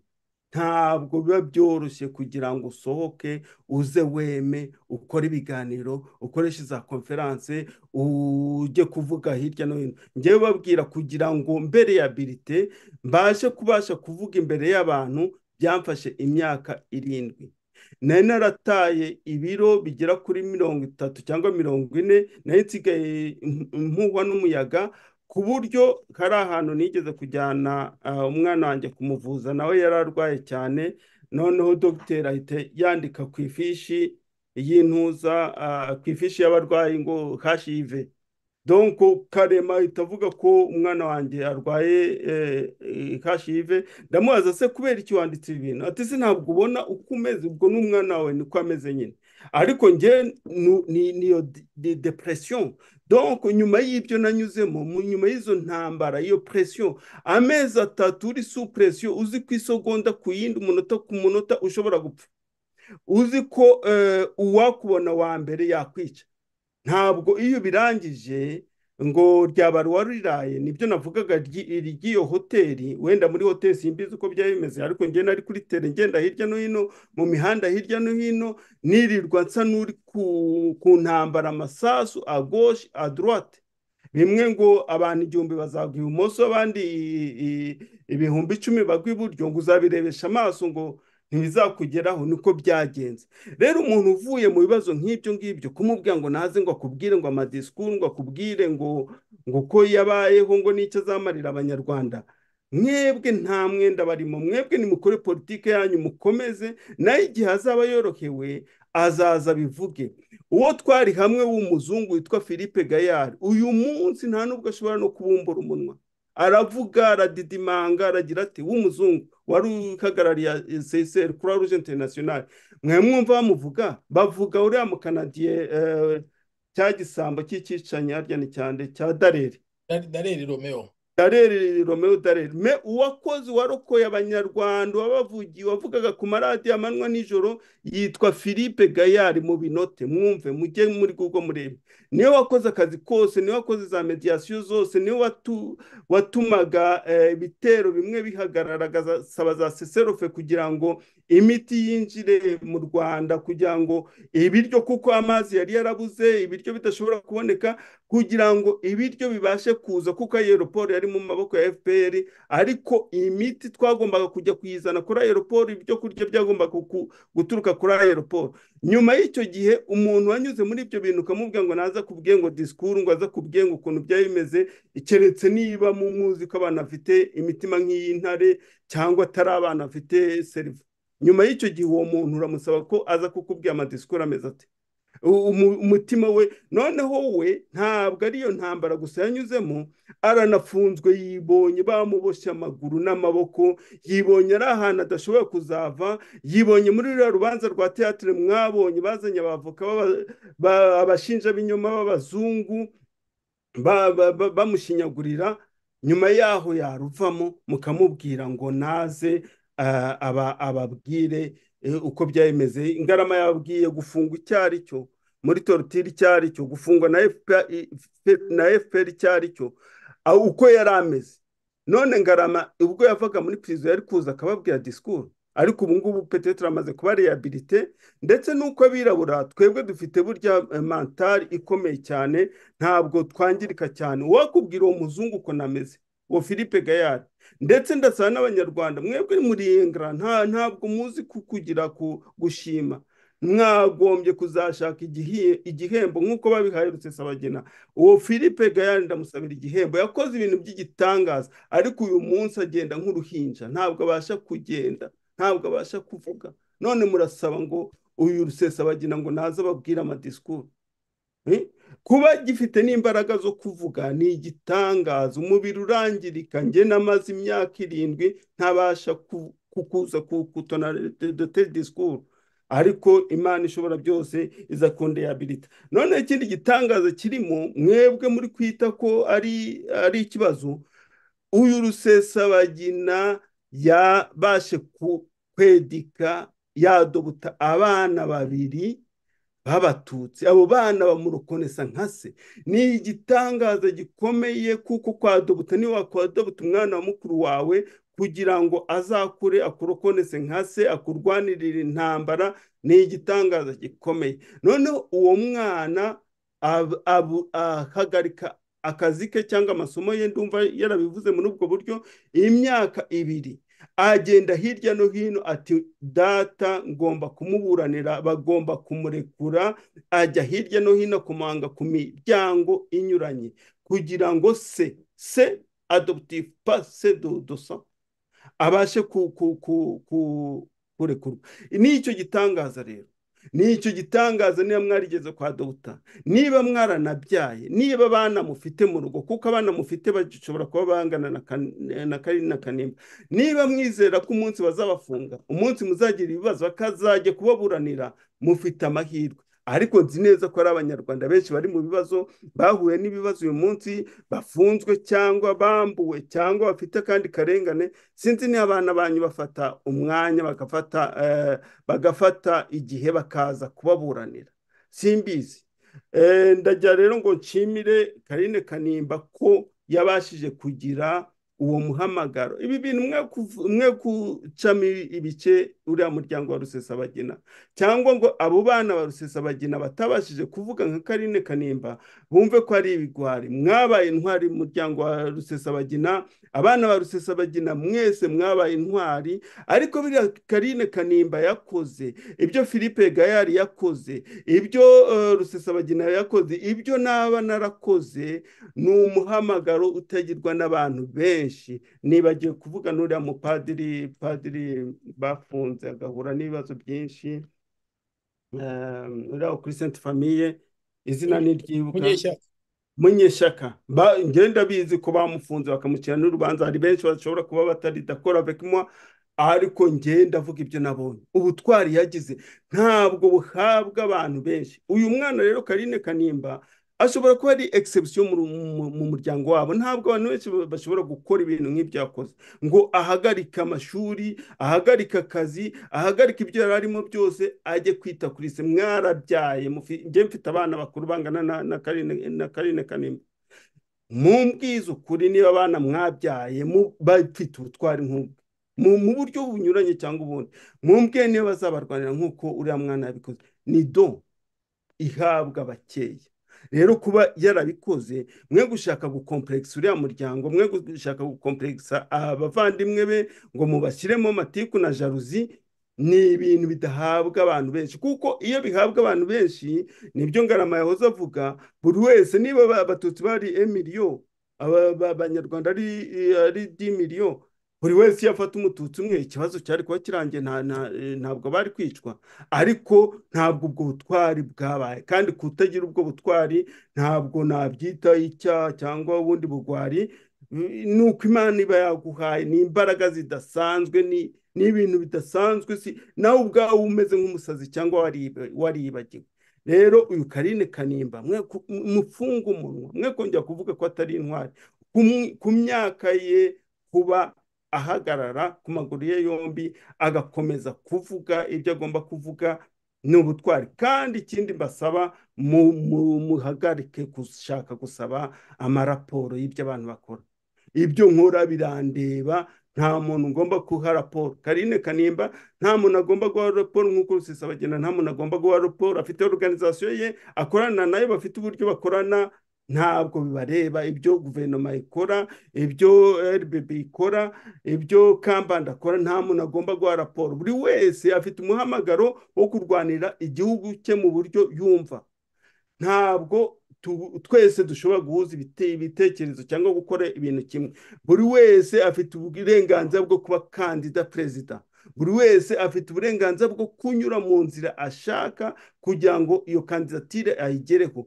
Ntabwo u rwanda rwabyaye ikinege. Ntabwo umukandida ari kagame teneroma cyangwa se umukobwa we cyangwa se kambanda cyangwa se nahimana cyangwa se twagiramungu no. Buri wese afite uburenganzira bwo guharanira uwo mwanya agakoresha n'inzira ashaka. Yanyura muri mu basenateri b'amerika yanyura mu basenateri b'ubwongereza yakoresha intambara yajya mu matora buri wese afite ubwo burenganzira. Niyo mpamvu rero musigeho gukomeza gusaba raporo musigeho gusaba ibyo biganiro ahubwo muri ibyo biganiro muhora muvuga aho gukora ibiganiro bitanu bitandatu byo kuvuga rusesabagina wowe ubiyoboye bwira abantu ibyo ugamije bwira abantu imigambi ufite bwira abantu ibyo ushaka kugeraho. We gukomeza kwirirwa uzana ibintu by'amatiku ibintu by'abanyagiturage ibintu by'abantu batari sivirize bo muri montanye abantu b'abanyagiturage nibo bagira amatiku ameze kuriya ntabwo rero ahantu tugeze ari aho kwirirwa duterana amagambo tuvuga amatiku dusaba za raporo buri organizasiyo irigenga buri organizasiyo ifite uburyo ikora buri organizasiyo ifite igihe ivugiye kuri televiziyo buri organizasiyo ifite abo iha raporo. Mwe gukomeza gusaba raporo nta kintu muri cyo nta kintu muhagarariye.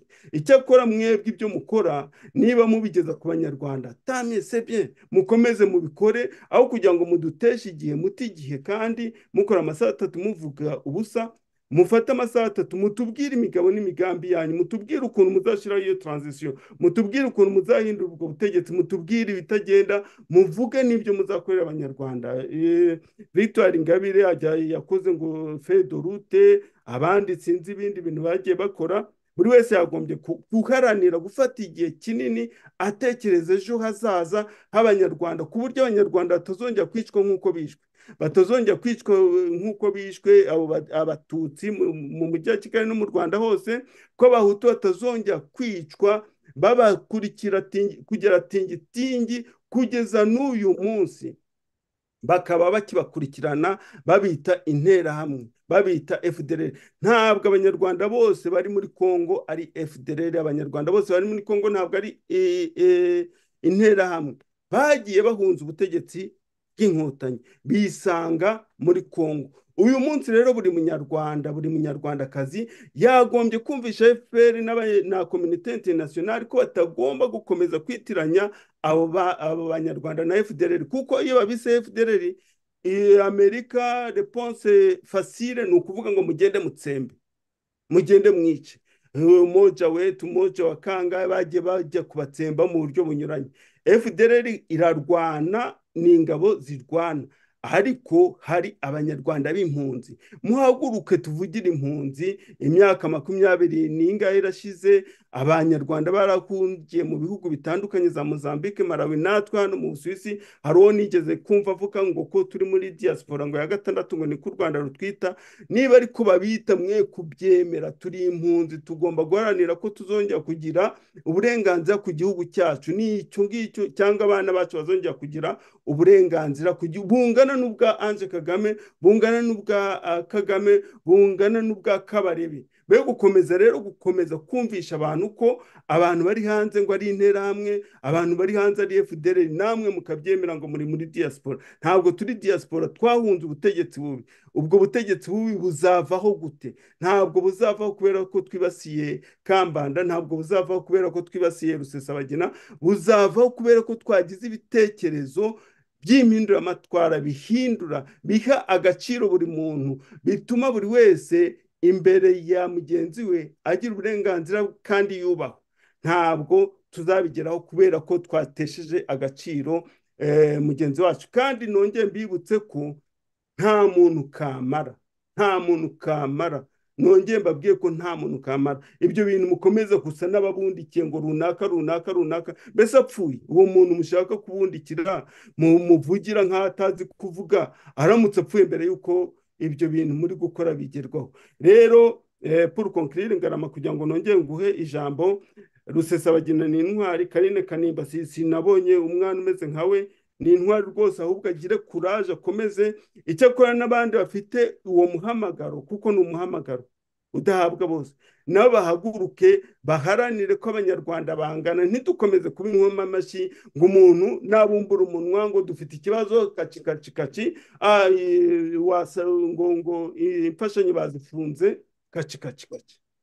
Mureke gutoza abanyarwanda kwigisha abanyarwanda kuba inkoma amashyi ahubwo resiponsabiriti dufite ni nyinshi cyane zikomeye aba bantu b'abanyamatiku bari guteranya abanyarwanda duhaguruke tubamagane murakoze. Murakoze cyane bwana nkirabigwi deo ku bisobanuro n'ibitekerezo byiza utanze cyane. Ndagira ngo mu gukomeza ndagira ngo tujye ku ka gatatu ku bijyanye na rusesabagina. Ngaruke ku kantu gato cyane noneho dukomeza ariko ko nashaka kugarukaho ni iki? Bavandimwe mu kuri iki kiganiro. Ndagira ngo mbabwire ngo impamvu nashyizeho iyi foto rusesabagina wa mbere na rusesabagina wa nyuma icyo nemeza cyo ku mubiri ariko mu bitekerezo rusesabagina aracyari umwe namwumvishe bwa nyuma ejo bundi ari kuvuga muri pariroma y'abongereza nagira ngo mvuge rero iki? Nagira ngo mvuge ngo bantu mwese mutanga ibitekerezo kimwe ndabihera kuri ibi biganiro twakozeho referanse nka bitanu bitandatu iyo bavuga rusesabagina bamubwira ngo agomba ngo kubaha raporo agomba kubabwira ibi mwebwe mubivuga muri bande? Nibyo navuze mwamuhaye kazi rusesabagina nta deni ry'u rwanda afite. Keretse nabyivugira ibyo ni byo mvuga ku giti cyanjye nabyivugira akavuga ati ngewe igihugu cyanjye ngifite ideni. We akavuga ko agifite ideni. Ariko twebwe abanyarwanda ntacyo twishyuza buri rusesabagina kuko nta kazi twamuhaye nta n'ibyo twamusaba. Ibyo akora ni volontariya yakijije abatutsi igihumbi na magana abiri. Yabikoze n'imana yamukoresheje. Ibyo ntabwo rusesabagina ntabyo yigeze yishyuza abanyarwanda. N'uyu munsi wa none ntabyo yishyuza. Rero uyu munsi wa none iyo ndebye umuntu w'umugabo witwa rusesabagina nari nzi yafunzwe amaze iminsi nk'umukurikirana ari gusobanura uburyo intore zashatse kumutesha umutwe yagiye gutanga ibiganiro muri finilande cyangwa isirayeli cyangwa ibintu nk'ibyo sinibuka neza mu mbabarire ariko icyo nashaka kuvuga ni iki? Reba izi foto ebyiri zombi zireba ni bimwe navugaga muri rwa rugendo rukomeye nanyuzemo. Tariki ya makumyabiri na gatanu z'ukwezi kwa kane bibiri na cumi na rimwe. Najyanwe imbere y'umushinjacyaha i nyamirambo witwa nsengiyumva emmanuel. Bwana nsengiyumva niba bavuga iki kiganiro cyangwa niba ari umuntu umuzi ni umushinjacyaha. Azamubwire ngo imana yaremye ngarama niyo yaremye wowe nsengiyumva. Turi abantu ku isi singusabiye ibibi ngusabiye umugisha ku mana. Ariko nugera imbere y'imana uzibuka amagambo wambwiye nicaranye nawe. Basohoye mu modoka nambaye imyenda yashwanyaguritse niyo bari banyambitse. Bagenda banshoreye nk'interahamwe bavuga ngo abantu bari kuvuga ngo yego dore interahamwe bafashe n'ibindi banyinjiza mu cyumba.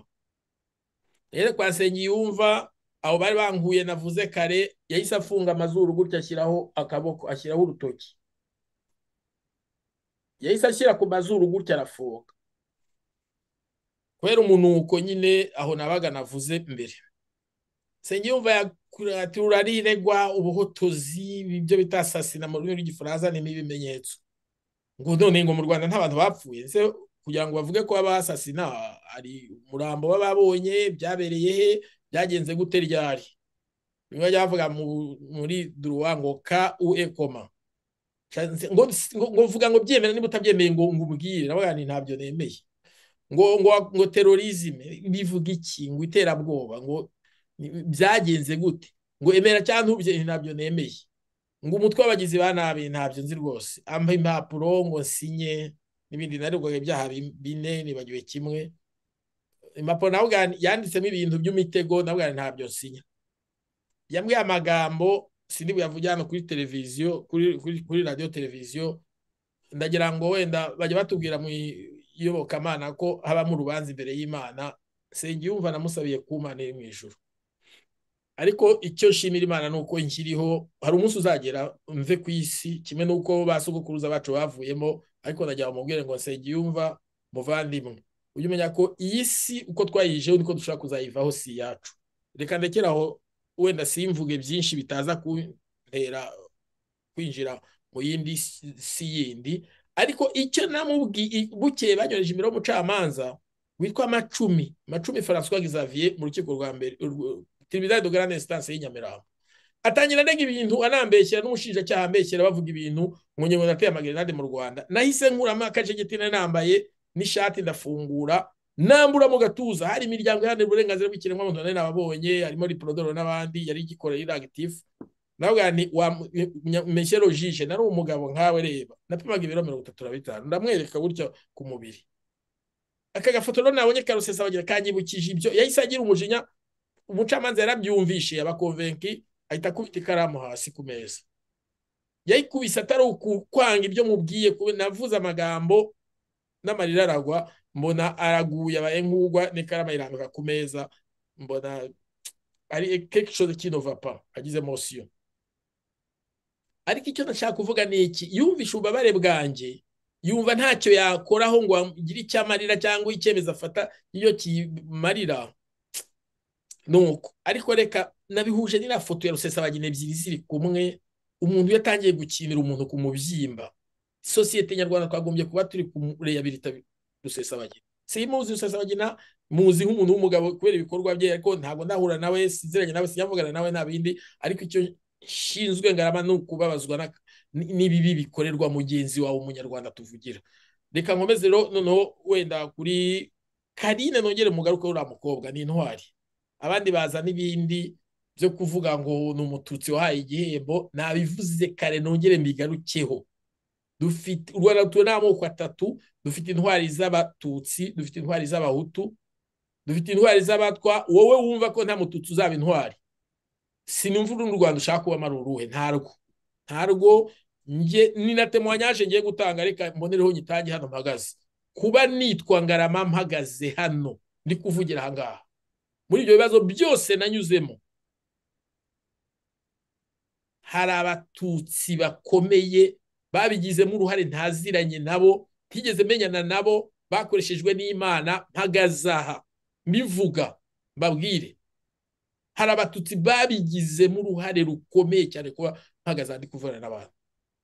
Kuba ntarakatiwe imyaka mirongo aho nafungiwe nta muntu nari nziranye nawe imana wo mu ijoro hari abatutsi bakomeye batumye ibyo bitagerwaho. Kugenda bavuga ngo abantu ngo ngo umuhutu ikibazo dufite mu rwanda si icy'umuhutu. Ibibazo dufite ni icy'ubutegetsi bwishyizeho bwica abantu mu rwanda. Nicyo kibazo. Nta kibazo hagati y'amoko. Amoko se ni ikibazo tere sempure twarashyingiranwe twarashakanywe. Hari n'abo bantu bagenda bavuga ngo ngo abavantara n'ibindi ibyo ntabwo mbyemera. Ntabwo mbyemera ngo nubwo nzabyemera na rimwe. Muvantara muvantara kubera kuki ufata umunyarwanda ukamwita umuvantara dufite amoko atatu. Umuvantara kubera iki? Kubera iki? Ubu se ngewe nahungiye muri amerika. Rewe yahungiye mu busuwisi.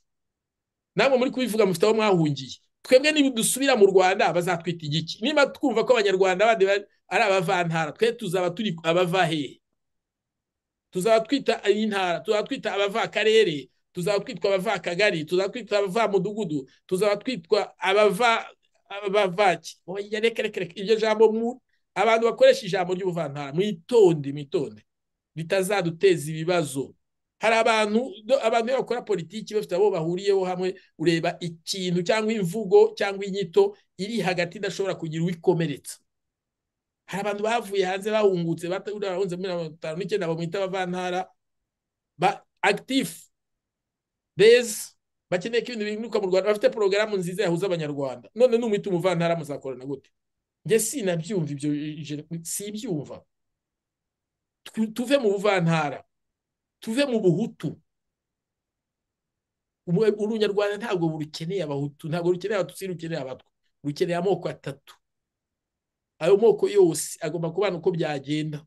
Ayo moko yose abamwe abeza n'ababi navuze ko hari ubwoko bwa kane ni ngena mwishyiriyeho ngarama uzabimaze zabimaze zamusobanurira hari ubwoko bw'abicanyi. Umuhutu w'umwicanyi umututsi w'umwicanyi fpr yishe abantu muri kongo mu rwanda twabyise jenoside yakorewe abahutu. Hari abahutu nabo hari abahutu bishe abantu mu rwanda muri jenoside nari hari mu rwanda barabishe ibyo kuzana wasende tujye tubivamo. Hari abatutsi bivanze mu nterahamwe baza kwica abantu kubera politiki bakoze hari noneho n'abakomeje ubwicanyi bandi bo muri fpr babikomereza muri kongo ibyo ni ibibazo rusange. Uwo mwicanyi wese barabaye muri fpr bari abicanyi baba bari kuri guverinoma yavuyeho babicanyi hose barahari.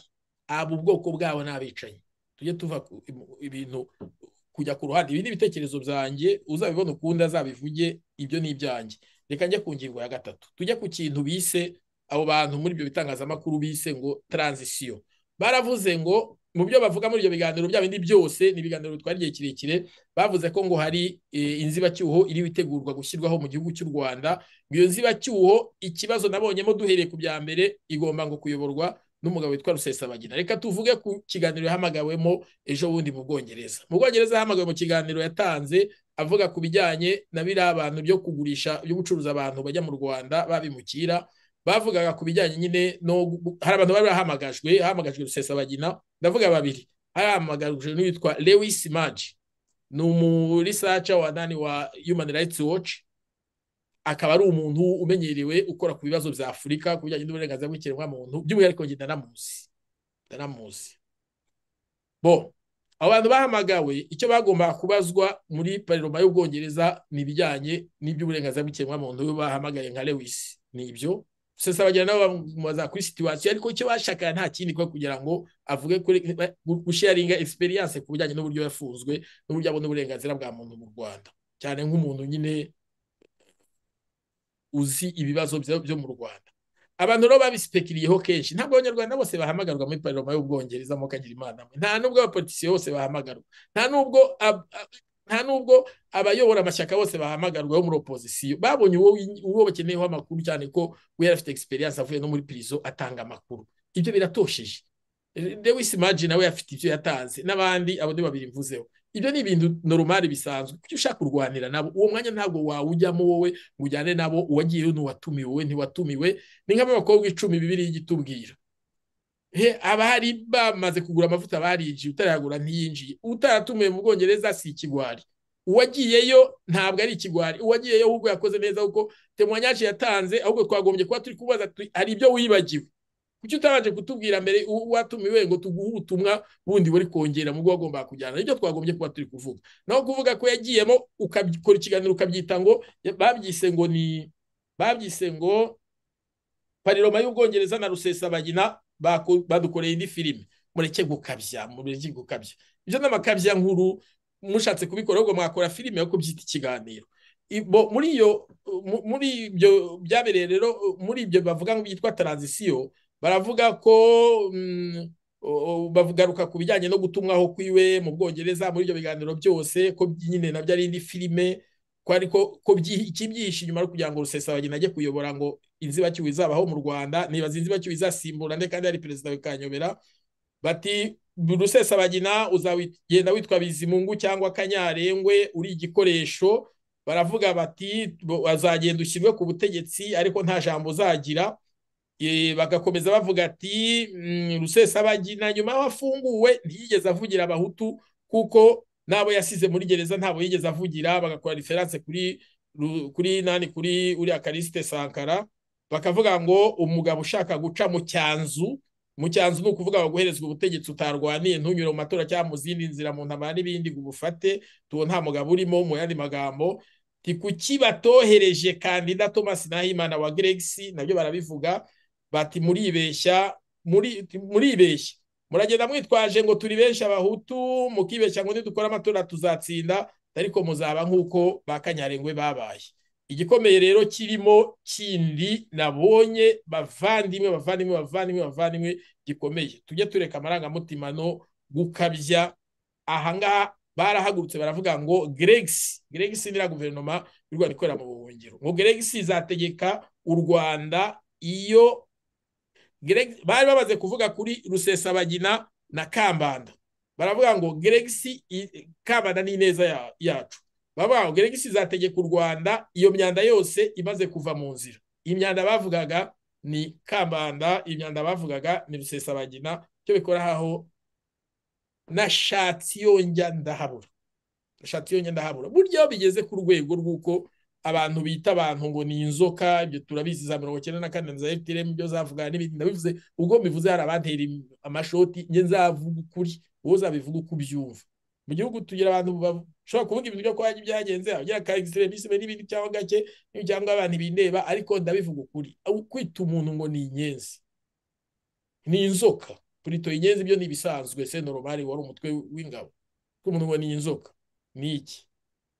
Hano kuvuga ngo umuntu ngo ngo ngo tuzategeka geregisi izategeka u rwanda ngo imyanda yavuye mu nzira imyanda bivuga iki ikindi bati ngo nibagende mu rwanda ngo nimba bashaka ngo kujyayo ngo mu rwanda nta mahoro ahari ngo umuntu ujya mu rwanda wese akaba agiye kwifatanya n'inkotanyi. Mwese ko muri gutegura amatora yo kuzajya kwamamaza umukandida wanyu muzana namwe mugiye kwifatanya n'inkotanyi? Nicyo ni ikindi kibazo. Kuki ubuza abantu kujya mu rwanda kandi wowe uteganya kujya kwiyamamazayo?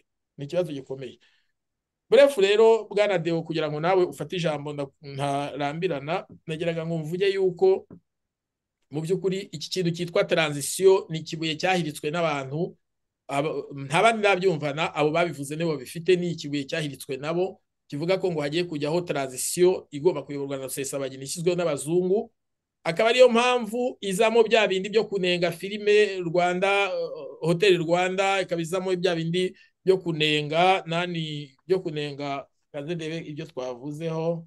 Hari filime hoteli rwanda bakavuga ifungwa rya rusesabagina na byo bise filime.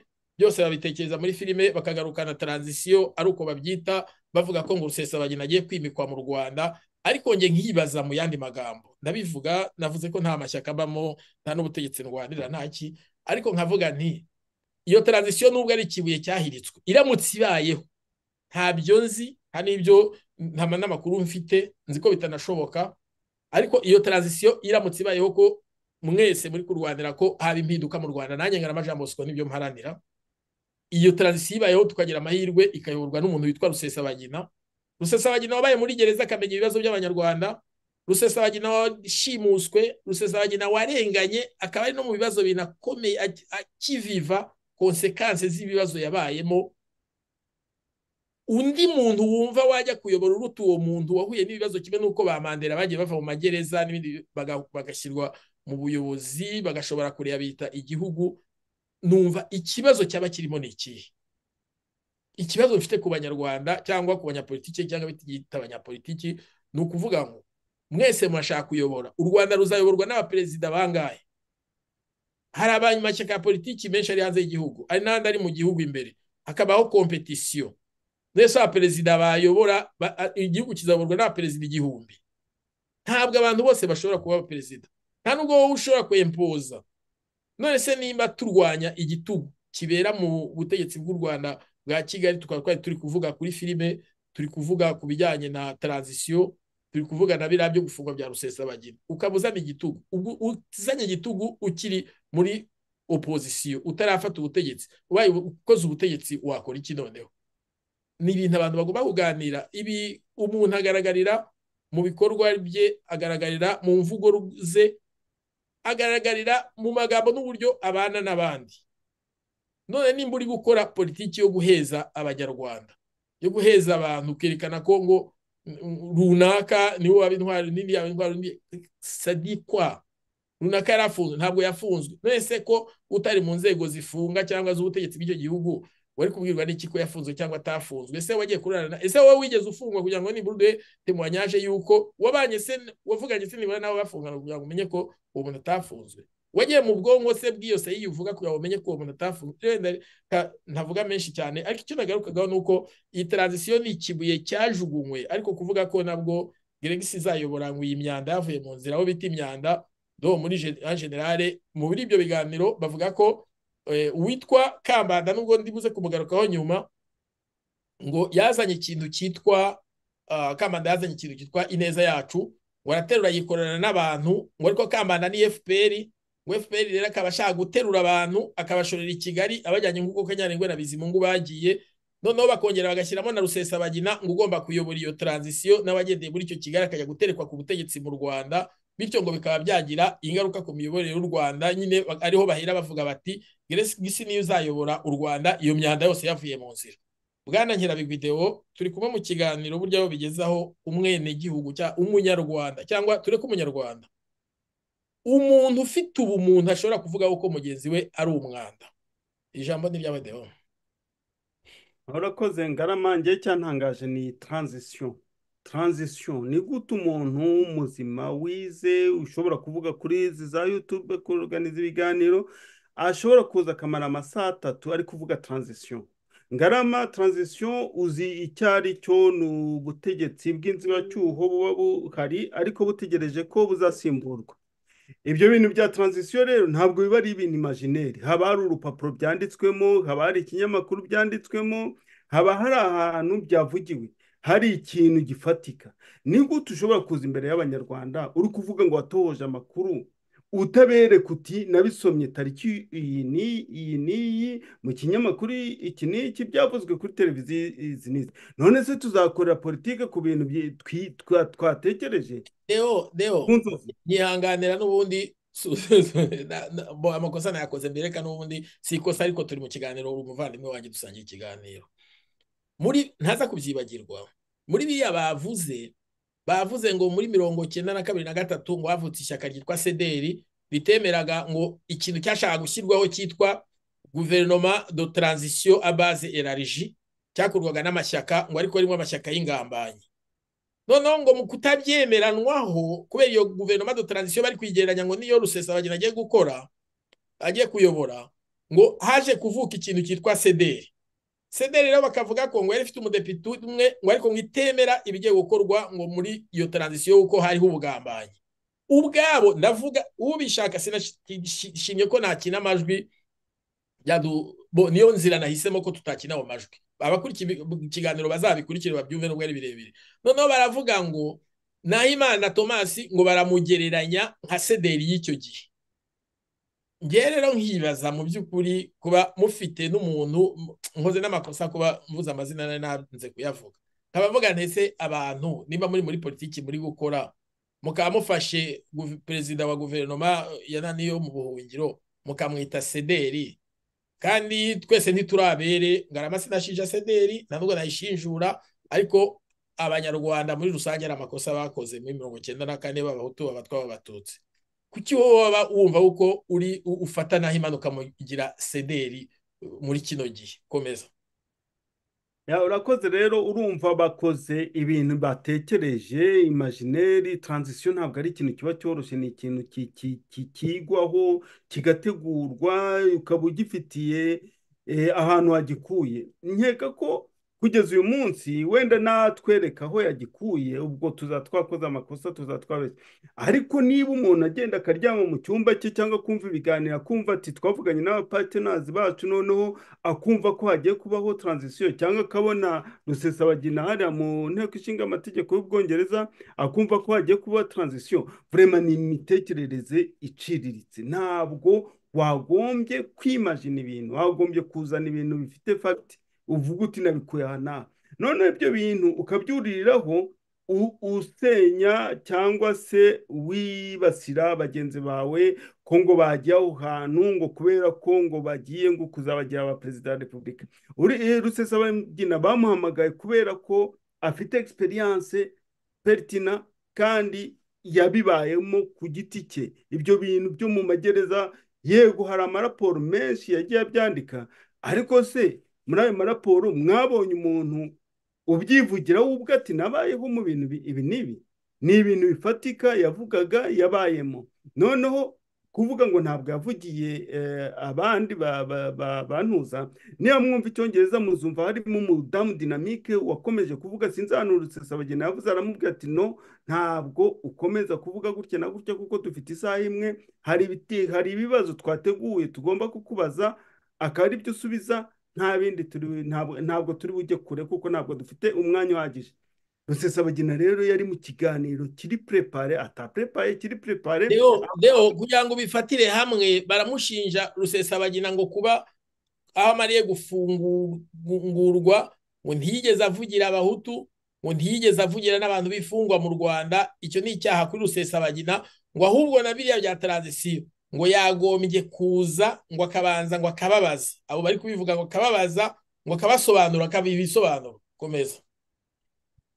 Wi noneho rusesabagina bamubazaga ibyo agomba kuvuga baramubaza asobanura neza ukuntu yafashwe ukuntu yagiriwe nabi bakamukandagira ku mutwe bakamushyira agafuka ku mutwe n'iki arabisobanura neza byose.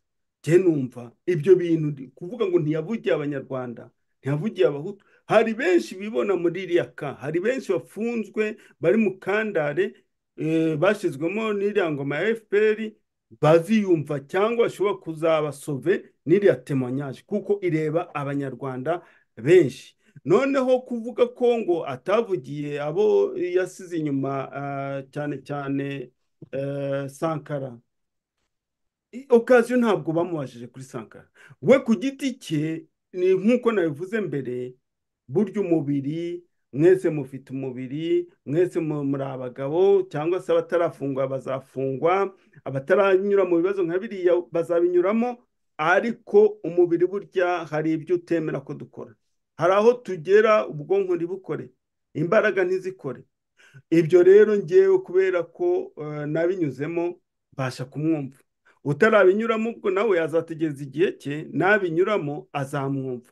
Rero igihe cya rusesabagina nikigera imbaraga nazigira nk'uko nabivuze ntabwo ndi bwisubiremo azabikora. Kandi none rusesabagina ntabwo ari umuvugizi w'abahutu ntabwo ari umuvugizi w'abatutsi ntabwo ari umuvugizi w'abatwa ni umuvugizi w'abanyarwanda. Niba ukora politiki yo kuzavugira abahutu ndumva warataye umurongo urata umurongo. Ntabwo nk'umunyarwanda ugomba guhaguruka ugomba ugiye kuvugira abahutu. Ngewe ku giti cyanjye igihe abatutsi baba batangiye kwicwa naravuze ntipurukwa abantu baravuga ngo bagomba nsobanurira impamvu. Ninumva impamvu ari oke petetero ndagukurikira. Ntabwo kubera ko umuntu yitwa umututsi agomba kwicwa gusa. Niba mwarwanaga petetero we ariko umuturanyi wanjye cyangwa umuntu nari nsanzwe nzi kubera iki agomba kwicwa kubera ko ari umututsi. Noneho rero ikindi kubera iki agomba kwicwa kubera ko ari umuhutu ni aho ngaho umuntu ukora politiki cyangwa urengera uburenganzira bw'umuntu agomba gukora ntabwo ugomba guhaguruka ngo ujye kuvugira abahutu ntabwo ugomba guhaguruka ngo ujye kuvugira abatutsi ugomba kwamagana ikibi aho kiva kikagera uwagikora wese n'uwagikorerwa. Ni aho ngaho urusesabagina ahagaze rero. Nkeka ko yarabivuze muzasubire muri yutube mugende murebe ibiganiro yakoze mbere yuko afungwa. Agifite imbaraga akiri umugabo nk'amwe acyambara akaberwa. Nk'uko muba mwambaye kuri ayo mateleviziyo. Muzagende murebe yarabivuze yari afite na erukansi navuze ni wawe. Wa mugabo yari afite icyo yari azi icyongereza kingana gutya? Muzagenda afite ibiganiro byinshi icyo gihe bamwe muri mwebwe nta n'ubwo mwe mwagatangiye no kuvuga niyo kapasite nta mwe mwakageze. Uyu munsi reka bikomereze hamwe na numvise ujya ahantu heza ugikomeza. Aba bantu muri ibi biganiro byabo baravuga ngo rusesabagina ngo ngo ngo baramuvuganiye bose. Ni kwa kundi nyine umuntu ahura n'ibibazo wataha ngo twaragusengeye cyane hari n'ababiririmbye. Bakavuga ko ngo ni bwa ni bwo bya bintu byo kuvuga ko umuryango we nyine ngo umukobwa ataba intwari n'iki. Bashaka kwerekana ko buri wese yavuganiye rusesabagina ahubwo ukibaza aho bamuvuganiye bo ni byiza ko bavugira umunyarwanda kimwe n'uko natwe tuvugira abanyarwanda kuri uyu mwanya. Ariko ingaruka zo gufungwa n'ibibazo byabaye kuri rusesabagina ni ingaruka ku muryango nyarwanda ariko wo muri opozisiyo muri rusange twese twagize agahinda. Ariko by'umwihariko hari ingaruka z'umuryango wiwe umugore we sipesiyaroma n'abana be cyane cyane nshyire uriya mukobwa w'intwari yitwa ndabaga kanimba karina kanimba. Ni ukuvuga ko abantu bagombye kureka ibintu kureka gukabya. Rusesabagina hari inshingano yari afite mu rugo rwe nk'umugabo. Umugore we yaramubuze ntiyamubonaga abana ntibamubonaga. Hari izindi resiponsabiti yari afite mu rugo ntizari zigikorwa ntawuzi uburyo nta n'ubishinzwe ko ni purive ntawuzi uburyo kwa rusesabagina bagombaga kubaho muri icyo gihe wenda bitewe n'uko wenda abusanse y'umugabo byanze bikunze ari icyabuze mu rugo. Umuntu rero akitakuma akishyira hariya akavuga ko ari igitangaza ko yavugiye rusesabagina ngo akabuza umwana we kuba yakwitwa intwari wajyaga wari uzi ibibera kwa umuryango we dabo niwo wa mbere victime cyangwa ufite ibibazo bikomeye kubera ifungwa rya rusesabagina. Noneho famiye politike ikaza nyuma abantu tujye tureka gukabya. Komeza deo. Ngarama ubivuze neza donk umuryango we ese ko harimo abagabo n'abagore umugore wari muri uri muri ibi biganiro umugabo wawe bamufatiye kuri aeroporo i kanombe bagajyanwa nk'uko yajyanwe bakamujyana mu rubanza nk'urwo bamukoreye. Waba akamara imyaka nk'ibiri umugore umugabo wazagaruka umeze uteweho mugabo bazafata bagafata nk'uko rusesabagina bamufasha bakamufunga wowe nyuma y'imyaka ibiri uri muri gereza utazi we yavuze ko ari uwa mbere fpr yafashe ikarekura muri buriya buryo. Kandi koko niko tubizi.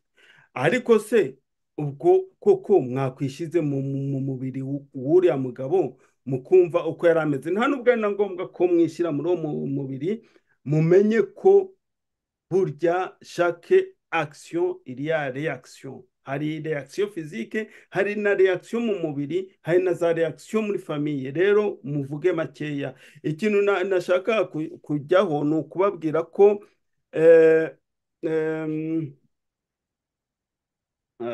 nataye umurongo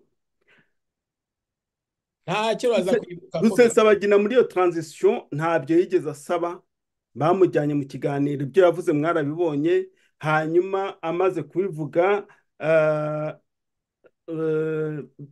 ndumva bihagije nta muntu yagombye gutanga gutangaho umugabo. Ikindi kandi mwirinde kuvuga ngo mwaramuvugiye. Ngewe byantera agahinda n'akababaro kuba ngewe navuga ngo bantu ngo natabaye? Ngo ngo kuki n'abatabaye ngo mukaba mutaba mwaranyibagiwe kuki n'abagize gutya? No no no no. Icyakora ndasaba abari eh, muri mirikorine cyangwa bari muri croix rouge ko nta n'abo mbona sinzi aho bagiye njye numva ibyo bintu bizwi n'imana. Niba rero mwaranamuvugiye twese twaravuze nta fagitire tugomba kugutanga. Ntabwo naje aha ngaha ngo rusesabagina ngo nzi njye namubonye yigeze kuza hano mu busuwisi aje gutanga ikiganiro rusesabagina ntabwo tuziranye nta na kontakite ye mfite nta ba karine kanimba nta kontakite ye mfite nta muntu uri iruhande rwa rusesabagina mfitanye nawe kontakite nabikoze kubera umutima urwanira uburenganzira bwa muntu nabikoze kubera umutima urwanira ukuri nabikoze umutima wishyira mu mwanya we. Nta fagitire nzaha rusesabagina nta n'ibihembo ntegereje ko azampa ntabwo mbikeneye. Wowe rero wavuze ku maradiyo nkunda kumva abantu babivuga ngo twaravuze twaravuze risike ni nini mwafashe risike ni nini dufata me ni wowe nta muntu uzabikwishyura ibyo bintu wo gukomeza kwishyuza we gukomeza kwishyuza niba ubona uzishyuza hagarara. Ntabwo ari umuhamagaro wawe.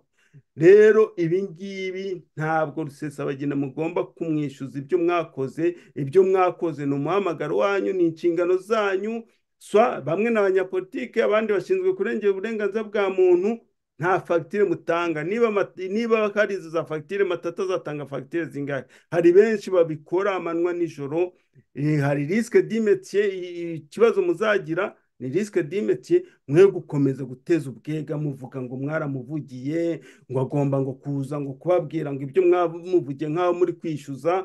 No abantu bari gukora iyi politike cyangwa baharanira uburenganzira bwa kiremwamuntu bameze gutyo nibahagarara uyu munsi kuko ntabwo ari umwanya wabo. Muri croix rouge twebwe batubwiraga ko dukora byose nta gihembo du- duteganyije. Ntabwo tu- tuvangura amoko n'uturere ngo kandi tukaba gikwira tukaba international ahantu hose tukagera.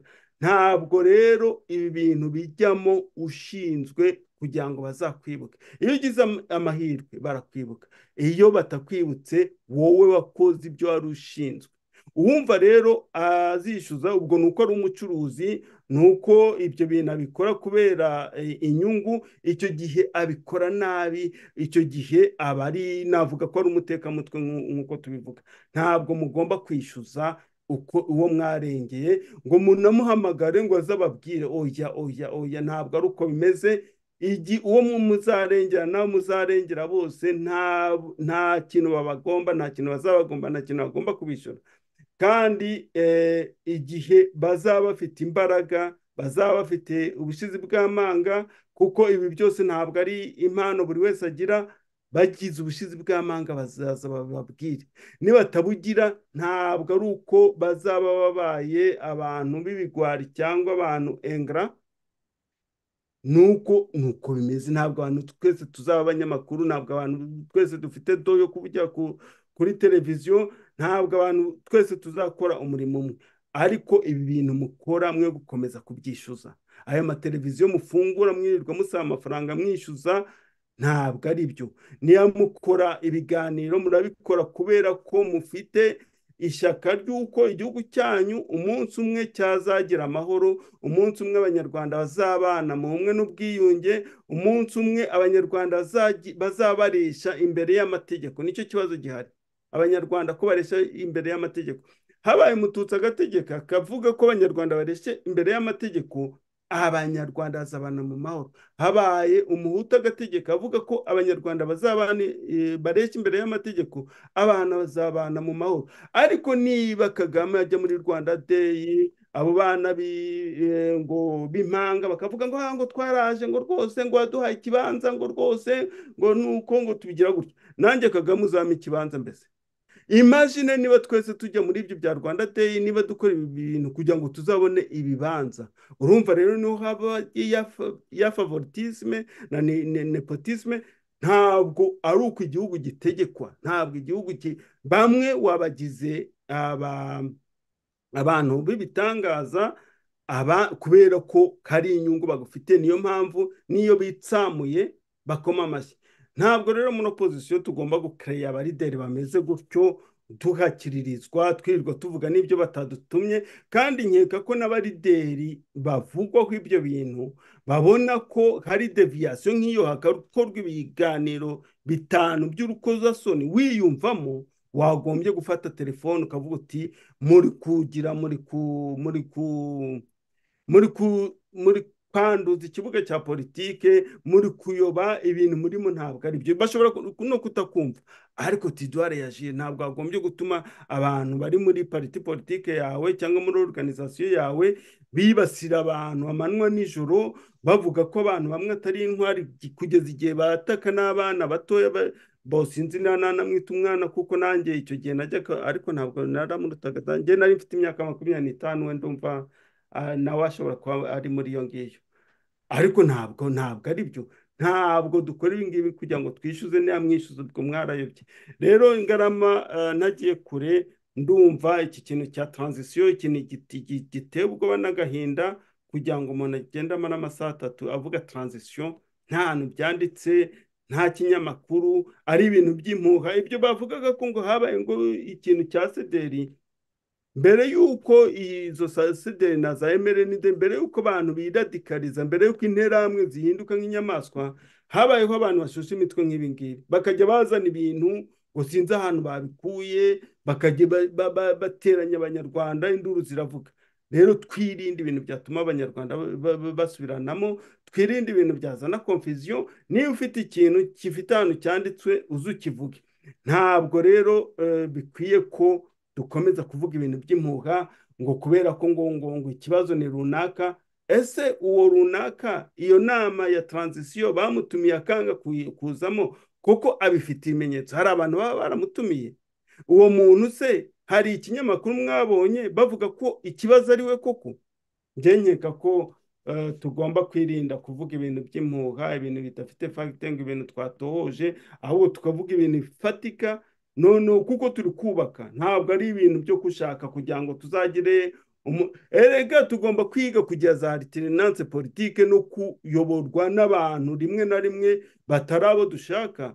Kuko niko ibihugu niba hari militiparitisme hari amashyaka atandukanye hari abarideri batandukanye bashobora kuza gusimburana igihe babivugaga bavuze ati se tuzayoborwa n'abaperezida icumi na byo birashoboka. Kuko ndibuka hari akafoto ko muri kenya kariho uwuru kinyata na arapu moya na na kibati na na kinyaturi ari umwana mutoya. Abo bantu bari ku ifoto imwe. Sinzi niba uwo munsi barigeze bumva ko bose bashobora kuzaba perezida. Ndakubwiza ukuri uhuru kinyata yabaye perezida arapu moya yabaye perezida uyu kibati yabaye perezida na uhuru kinyata yabaye perezida none uyu munsi ni ruto. Rero abanyapolitike mwe gukora politike y'urwango politike babyitaga ngo ni politike. Bimwe byo kugambana n'ubucakura. Ibintu inshingano dufite zirakomeye cyane. U rwanda rwabaye nka nka nka centre ya strategie yo ku kuba kwihanganye gatoya nka kuzuza kuko wari umaze kuvuga. Ubuyobozi ntibugirwanirwa kuko mu muco wa kinyarwanda cyangwa imigani ya kinyarwanda baravuga ngo ubuyobozi cyangwa ubutegetsi bwose buturuka ku mana. Iyo urebye ku bemera muri bibiriya batubwiye amateka mu isezerano rya kera uburyo bahamagaye umuhanuzi imana yatumye umuhanuzi samweri ngo ajye gutoranya umwami uzasimbura uzasimbura idera ubwo batoranyaga david uzasimbura sawuri sawuri bashakishije umuhanuzi samweri yaraje yakora ku muntu wapi akaba ati suye yakora ku wundi ati suye yakora ku wundi ati suye bati nta wundi mwana usigaye hano. Baravuga ati nta wundi. Noneho isaza kwibuka ati yarakana kagiye kuragira amatungo. Bati mukazane. Agakoze ati ntoyo niyo mpamvu rero nashaka kubwira abantu bose ko ndabivuga pe ndabivuga nashaka kubwira abantu bose bakora iki kiganiro ko ntabwo abanyarwanda twese tuzaba perezida. Nta nubwo abashefu b'amashyaka twese tuzaba perezida nta nubwo abavugira kuri aya maradiyo twese tuzaba perezida uretse ko tutanabi hari ababishaka n'abatabishakanye nta bo buri wese agira umuhamagaro wiwe si n'umunyapolitiki.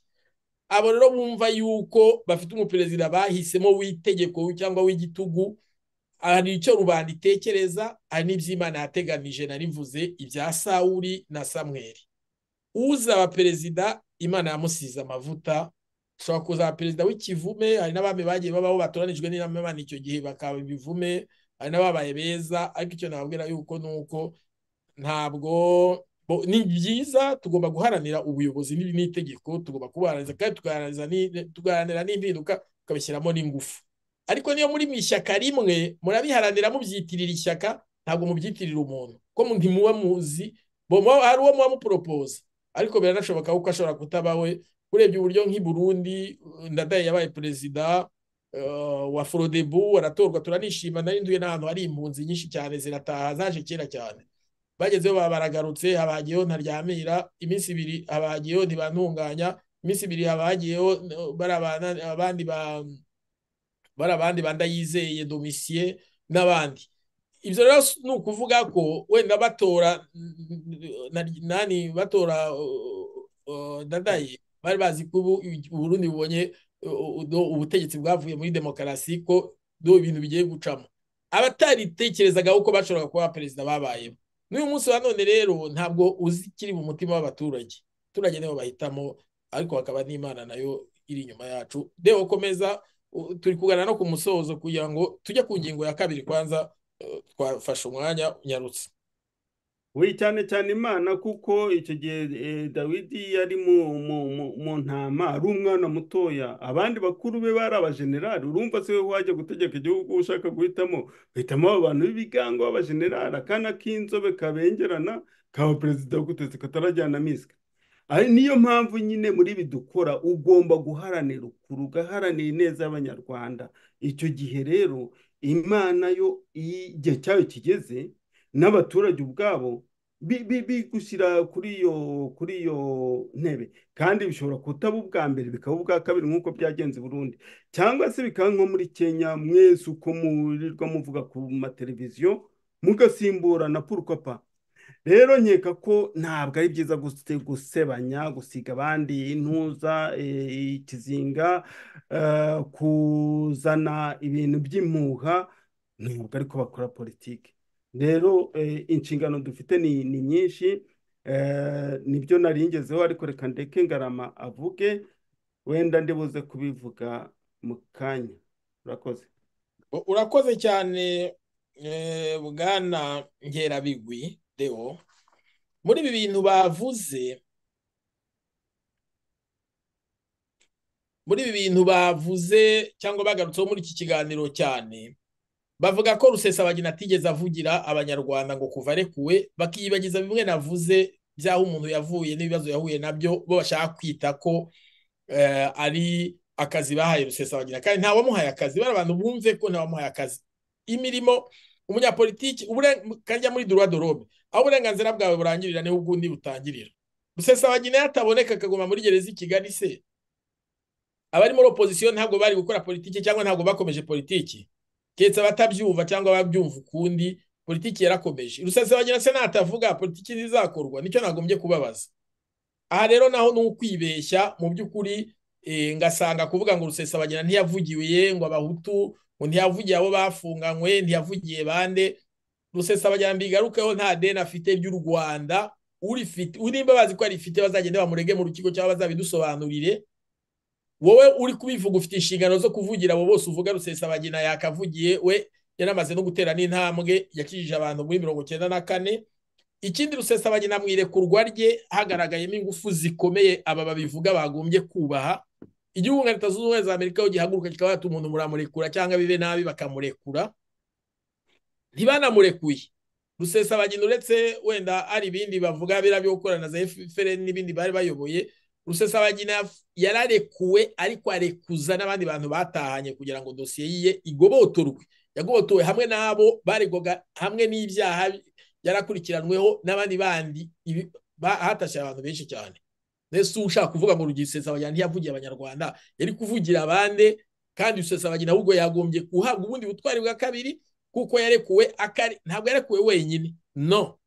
Yarekuranwe n'abandi bantu. Itimu bari bariganwa mu byaha bimwe n'isheni y'abantu benshi. Njye mbivuga cyangwa mbifata nk'igitero gikomeye yagabye ku rwanda cyo gufunguza abanyarwanda. Ubundi muntu wigeze afungurwa mu rwanda cyangwa abohoza abantu bangana nabo rusesabagina yarubohoje afunguranwa nabo ninde? Muzamuvuge muzamutubwire. Reka rero sininde cyane kugira ngo tujye ku yindi ngingo ariko tukiri aha nabwo hari ikintu nagombye kuvuga kugarukaho na cyo. Muri biriya bintu bakunze kugaruka ku ijambo abahutu ntabwo ari byiza na byo ni inama. Nagira ngo bagire ibyo bintu babigabanye.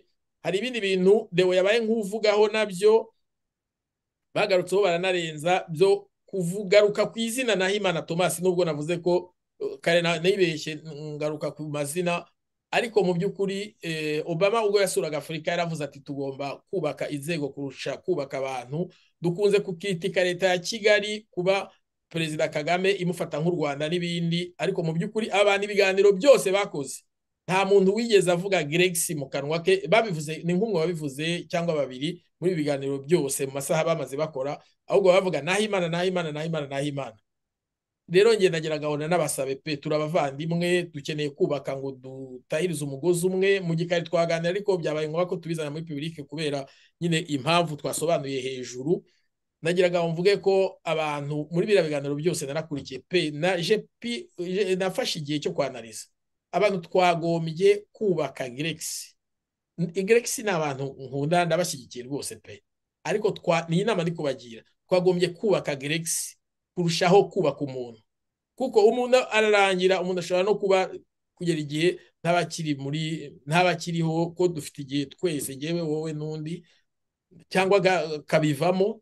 Ariko twagombye kubaka geregisi kurushaho uko twubaka umuntu ku giti cye ni byo tujya tuvuga ko mu rwanda hazavuka ikibazo kubera bubatse kagame bibagirwa fpr no kubaka inzego z'igihugu.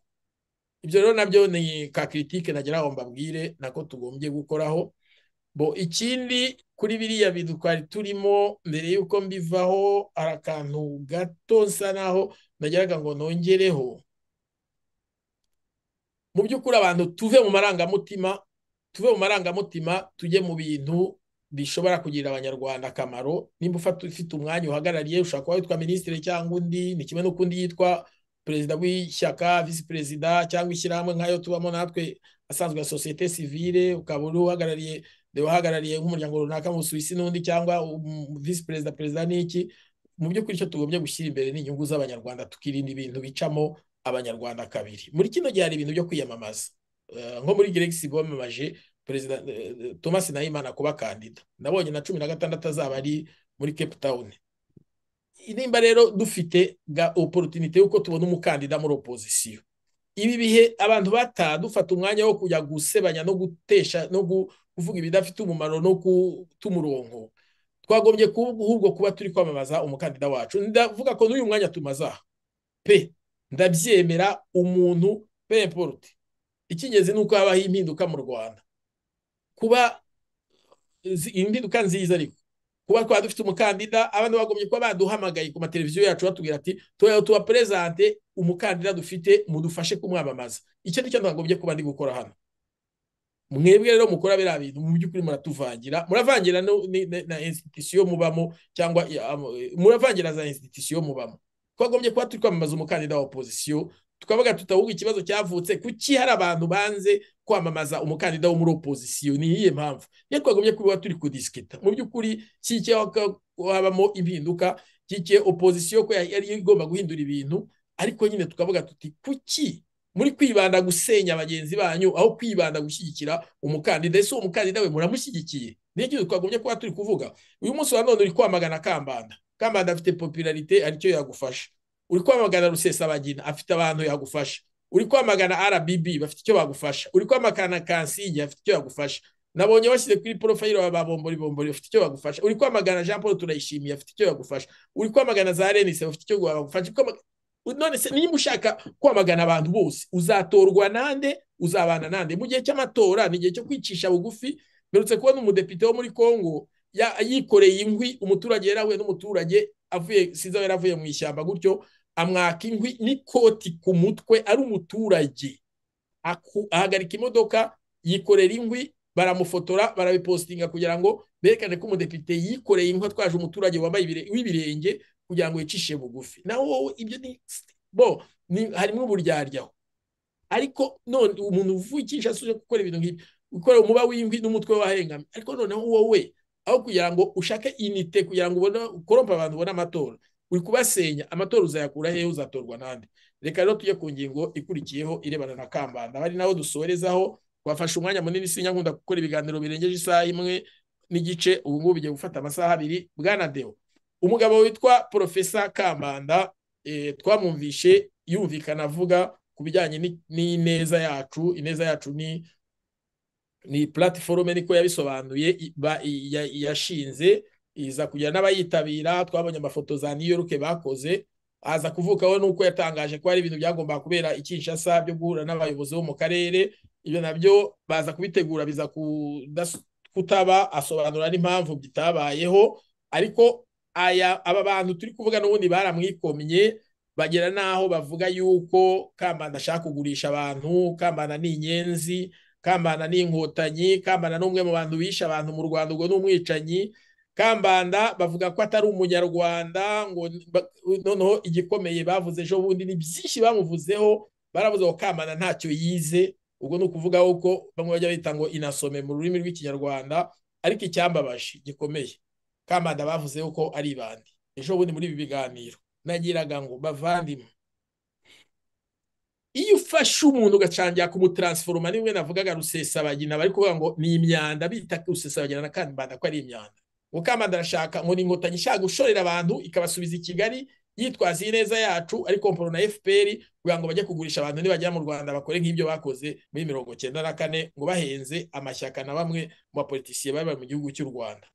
Ngarutse ahangaha ku kijyanye n'uko bavuga ko kambanda ntabwo yize. Bavandimwe mwebwe bigiye gutuma noneho ndaza ku amazina nirinze zishobora kuza kuyavuga? Muvandimwe ndagira ngo mbabwire. Mbabwire. Mbabwire ngiye kubivuga. Iyo utinyutse ukavuga ngo kambanda ntacyo yize kambanda muri leta zunze ubumwe za amerika. Sinziranye nawe by'umwihariko ariko nakoranye nawe ikiganiro ndamuzi kambanda mu biganiro mu bitangaza n'amakuru yenda yazi mu bijyanye no kubisoma ku aho nsoma bitabo online kuvuga n'ibindi ariko nagira ngo mbabwire ngo iyo ugeze aho uvuga ngo kambanda ntaho yize nibaza nimba uwize ari inde wowe uri kuvuga cyangwa wumva iki kiganiro ni wowe wize kurusha abandi bose? Iby'amashuri si byo twakwiye kurata nta n'icyo bo sinajye kubaho ntacyo bitumariye mu mbabarire nibeshye nta n'iyo ubwo ariyo sije twateguye hano uko uwize agomba kuyobora utarizi kimwe n'uko umuntu ubona ashobora kuyobora impumyi. Buri wese abantu bose bize ibitandukanye. Kandi bize amategeko yarabize ubuganga hari n'abize shimi biyoloji fizike siyansi zimere n'ibindi. Ariko nagira ngo ngaruke mvuge ngo iyo utinyuka ukavuga kuri radiyo ngo kambana ntacyo yize ikintu uba wishingikirije ni igiki? Ngiye kubwira abantu bajya babikora. Nagira ngo mbwire abari bayoboye icyo kiganiro harimo tarisisi harimo madamu Mwemayire harimo n'undi musore wundi amazina ye ntibavuge n'abandi badamu bafatikanije iyo mutinyuka mugavuga ngo kambana ntiyizi. Ndagira ngo mbabwire ngo mfite inshuti zanjye kambana nkimwumva. Namwumvaga ku binyamakuru umugabo utazi ikinyarwanda avuga ibintu mfite umuhungu wanjye. Iyo nakunda kuba ari kumwumva yagabana. Ariko ukunda kumva uwo mugabo ngo ukunda kuvuga ngo embeba wa mugabo ujya uvuga ngo embeba ngo umwumvire iki? Ni umugabo mwiza agira ibitekerezo byiza ni byo numva. Kamana umunsi wa none nagize amahirwe namwumvishe yaramenye ikinyarwanda. Sigaye avuga n'igifaransa ibintu rwose n'igifaransa. Kamba bo ndavuga amagambo y'igifaransa. Umuntu agatinyuka nagize amahirwe. Mbona umugabo w'inshuti yanjye. Umugabo w'inshuti yanjye nawe afite phd kambanda afite phd muri biriya bya mategeko. Uwo nawe afite phd muri duradorome turavugana nawe ati kambanda yanyigishije butare. Twaganiriye byinshi cyane. Ngenza kugira n'undi ngira amahirwe wundi w'iwacu uvuka iwacu none uwo nguwo wundi bandi baperefegitura arambwira kambanda yaramwigishije turaganira mbwira uwo ari nza kubona undi ni batatu bigishijwe na kambanda ariko by'umwihariko babiri n'izo nshuti zanjye. Uwo tuvuka hamwe n'ufite phd uwo tuvuka hamwe we afite lisansi yize butare. Abambwiye ibya kambanda ni iki? Ubwo nari no kugira ngo numve menye amakuru. Ariko rero ndababara numvishe umuntu uvuga ngo nagira ngo mbabaze mw'ababyeyi tarisisi nawe mwemayire na mugenzi wanyu yitwa nimba ari fideli nimba ari ndetse nibuka izina neza. Iyo muhera ku yesa nari muvuga ngo kamara ntiyize. Hano muri amerika kugira ngo ube umwavoka ni ibintu birebire no muri bihugu by'i burayi dewo urabizi. Kamara n'umwavoka umwavoka kandi ukomeye muri iki gihugu. Kambanda n'umuntu washyizwe kuri lisite yo kuba umucamanza muri bacamanza icyenda b'urukiko rw'ikirenga hano muri amerika. Si umuntu sinepolitiki ujyaho kuri lisite kuri amerika ituwe na miliyoni amamiliyoni n'amamiliyoni y'amaleta mirongo itanu sinepolitiki ushobora kujyaho nimba kambanda yaraselekisiyonwe ni nk'aba badepite mirongo inani bajya bajyaho b'ishyaka mu rwanda ariko u rwanda ari akadomo u rwanda ni nka kimwe cy'ibihumbi ijana cy'amerika uwo muntu agashobora kujya kuri iyo lisite ashobora kuba poropoze umucamanza muri guverinoma y'amerika we ugahaguruka umuntu sempure ngo kambanda ntiyizi ndavuga izo temoyanyaje mfite zabo yigishije butare keka ko abantu barwaye mu mutwe niko navuga. Ikindi hari umugabo uhagurutse aravuga muri ibyo biganiro nta n'uwamukomye iyo umuntu ayoboye ikiganiro nk'uyu munsi njye ngiyoboye niba ashobora kwibeshya nkamugarura cyangwa hari abo yari ageze nshaka asubiza nkamugana nyamara niyo mpamvu ndamucaga no mu ijambo nkamugana hari ibintu wari uvuze byiza ibi n'ibi mwongerere cyangwa mwibutse aho agomba gukomeza. Ariko abantu bakavuga ngo kambanda ni ibandi. Mwa bantu mwe mbabwire niba muri gukora politiki Gregisi mbibabwire noneho mbivugisha ukuri mve mu magambo nani mu bwihisho Gregisi nimba muri gukora politiki nimukore politiki ibanisha abanyarwanda. Nimukore politiki yo kubahana nimukore politiki yo koroherana. Nimba mukoresheje politiki nk'iyo ngiyo kuvuga ngo kambana ntiyize ngo kambana nibandi. Ndagira ngo mbabwire ngo aho kugira ngo uvuge ibyo wasezera muri politiki. Ujya kwicara ugaceceka. Kambanda nta soni kambanda ujya kuri lisite y'abacamanza icyenda abantu icyenda muri leta zunze ubumwe za amerika igize na leta mirongo itanu puissance ku isi. Kambanda tureke ibyo. Kambanda ngo ni deshe ngo muzayobora ngo igihugu ngo ayo madeshe ngo reka ndebe imvugo bakoresheje ntaza kuvuga ibitari ibyo. Ngo geregisi izategeka u rwanda iyo myanda yose imaze kuva mu nzira nagira ngo mbabwire ngo iryo jambo mwavuze ryagombye gutuma musezera muri politiki. Njye simba tukanararezwe kamana ntiyantumye sindi umuvugizi we. Rusesabagina ntiyamvuze ntiyantumye sindi umuvugizi we. Ngewe mvugira abanyarwanda ninjye wabyigize. Nta soni. Kambana ni umwanda. Rusesabagina ni umwanda. Abagabo b'inararibonye abagabo bakora ibikorwa bikomeye. Umuntu ushobora kuburanira abantu agadekorosha idosiye yananiranye ka kuri lisite ya leta zunze ubumwe za amerika yatayijyaho umugabo utarakoze televiziyo ngo ashyireho ngo mujye munyishyura mugere gute? Nta kintu nta ikintu kamana ideni afite abanyarwanda ni irihe? Kamana ninde yigeze asaba umusanzu ngo amwishyure. Rusesabagina ninde yigeze asaba umusanzu ngo amwishyure. Reka njye kuri kamana by'umwihariko ninde yasabye umusanzu kamana ninde yigeze ahatira ngo uze mu neza yacu ntawe yavuze ati nakontagisa abantu anavugisha n'ukuri. Nakontagisa abantu mvugana n'abantu runaka runaka runaka uwabyemeye yaraje utabyemeye n'uburenganzira bwe hari amashyaka yaje hari abantu ku giti cyabo ntawe yashyizemo umugozi kuki wumva ko ugomba kwita kambanda ngo ninuze ngo ni umwanda wowe uri igiki? Kambanda ntiyize. Nta soni. Abantu mwamenya ubwenge mukava ibuzimu mukajya ibuntu. Ngo kambanda ni ibandi wowe igiki ntubanza ngo unirebe cyangwa urebe aho muri kumwe urebe ibyo mutekereza. Kimwe na bya bindi muvuga ngo ngo ngo umukobwa ngo wa rusesa wagira ngo uko yari umututsi ntiyagombye kuba iyo mvugo muzirotire musezere muri politiki. Ndarakaye mutumye mvuga bibi. Nta soni ngo kambanda ni ibandi bivuga iki? Ngo yanyuze iruhinga ngo eh hari ibindi abantu bajya bavuga bishobora kubatesha isaro.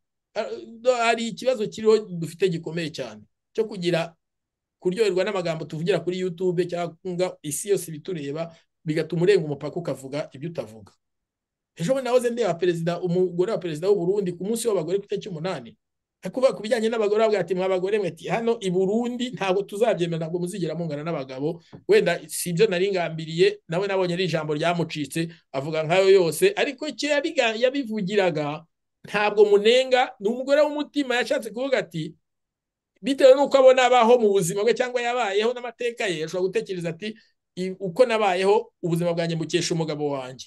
Akumva ko icyubahiro agomba guha umugabo ko yakoze na referanse kuri bibiliya bati icyubahiro mpereza umugabo wanjye n'abandi bose niko bagombye kubigera ntabwo tuzayishyira n'abagabo abagabo n'ababyeyi bacu n'iki ariko noneho hakaba hari undi mugore wenda umugabo yagiriye nabi yumva atakwita shefu hakaba hari n'undi mugore wavutse mu rugo rurimo ibibazo nk'ibyo umubyeyi w'umugabo nta mumaro yigeze amara ariko muri rusange bigatuma afata uwo mwanzuro. Ariko si cyo nari ngambiriye cyane n'urugero nari ntanze. Ariko reka ngaruke kuri bya bindi byacu. Niba abantu mushobora kwicara hamwe mwe mayire tarisisi mukicara hamwe n'uwo musore muba muri kumwe uri aho ku nkingi y'umuriro witwa fideli wo kwatsi nibuka neza izina ryiwe. No no no no ni ni izina riri kuza. Ndaza kurizana noneho mukavuga mukafata umuntu w'umunyarwanda ngo ni umwanda. Mukongera mugafata umuntu ngo ni ibanda ikambanda ngo mbabwire ngo kambanda sinagera iwe sinzi icyo ariko muzi mu mateka kamemo ntabwo. Niyo yaba ari umunyarwanda w'umutindi ugendana n'inkweto cyangwa utazigira cyangwa babandi tujya tubona mu tuzu twasenyaguritse ntabwo ari imyanda ni abanyarwanda. Ni umuntu nkawe we wagiriwe amahirwe yo kubaho ku buryo bwiwe butandukanye n'ubwo ariho. Nimba ngarabanza kuri hano kuri zumu hakaba hari utabona n'amafaranga yo kugura mega. Ntabwo nshobora kuvuga ngo wa muntu utabona amafaranga yo kugura mega cyangwa kutumva ibyo mvuga ari umwanda.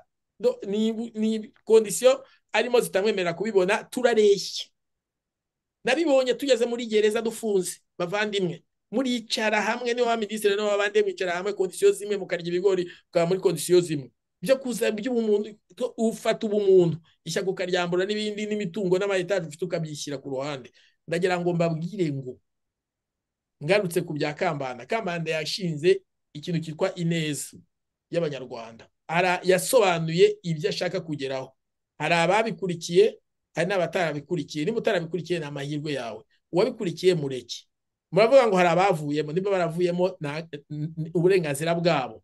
Namwe muri muri guverinoma guverinoma muri uyu munsi wa none ntabwo ariko yatangiye hari abayivuyemo ariko ntibyayibujije kubaho. Ndashimira n'umugabo witwa nahimana thomas ko yakomeje urugendo rwiwe neza akaba ahagaze neza kuri uyu munsi wa none.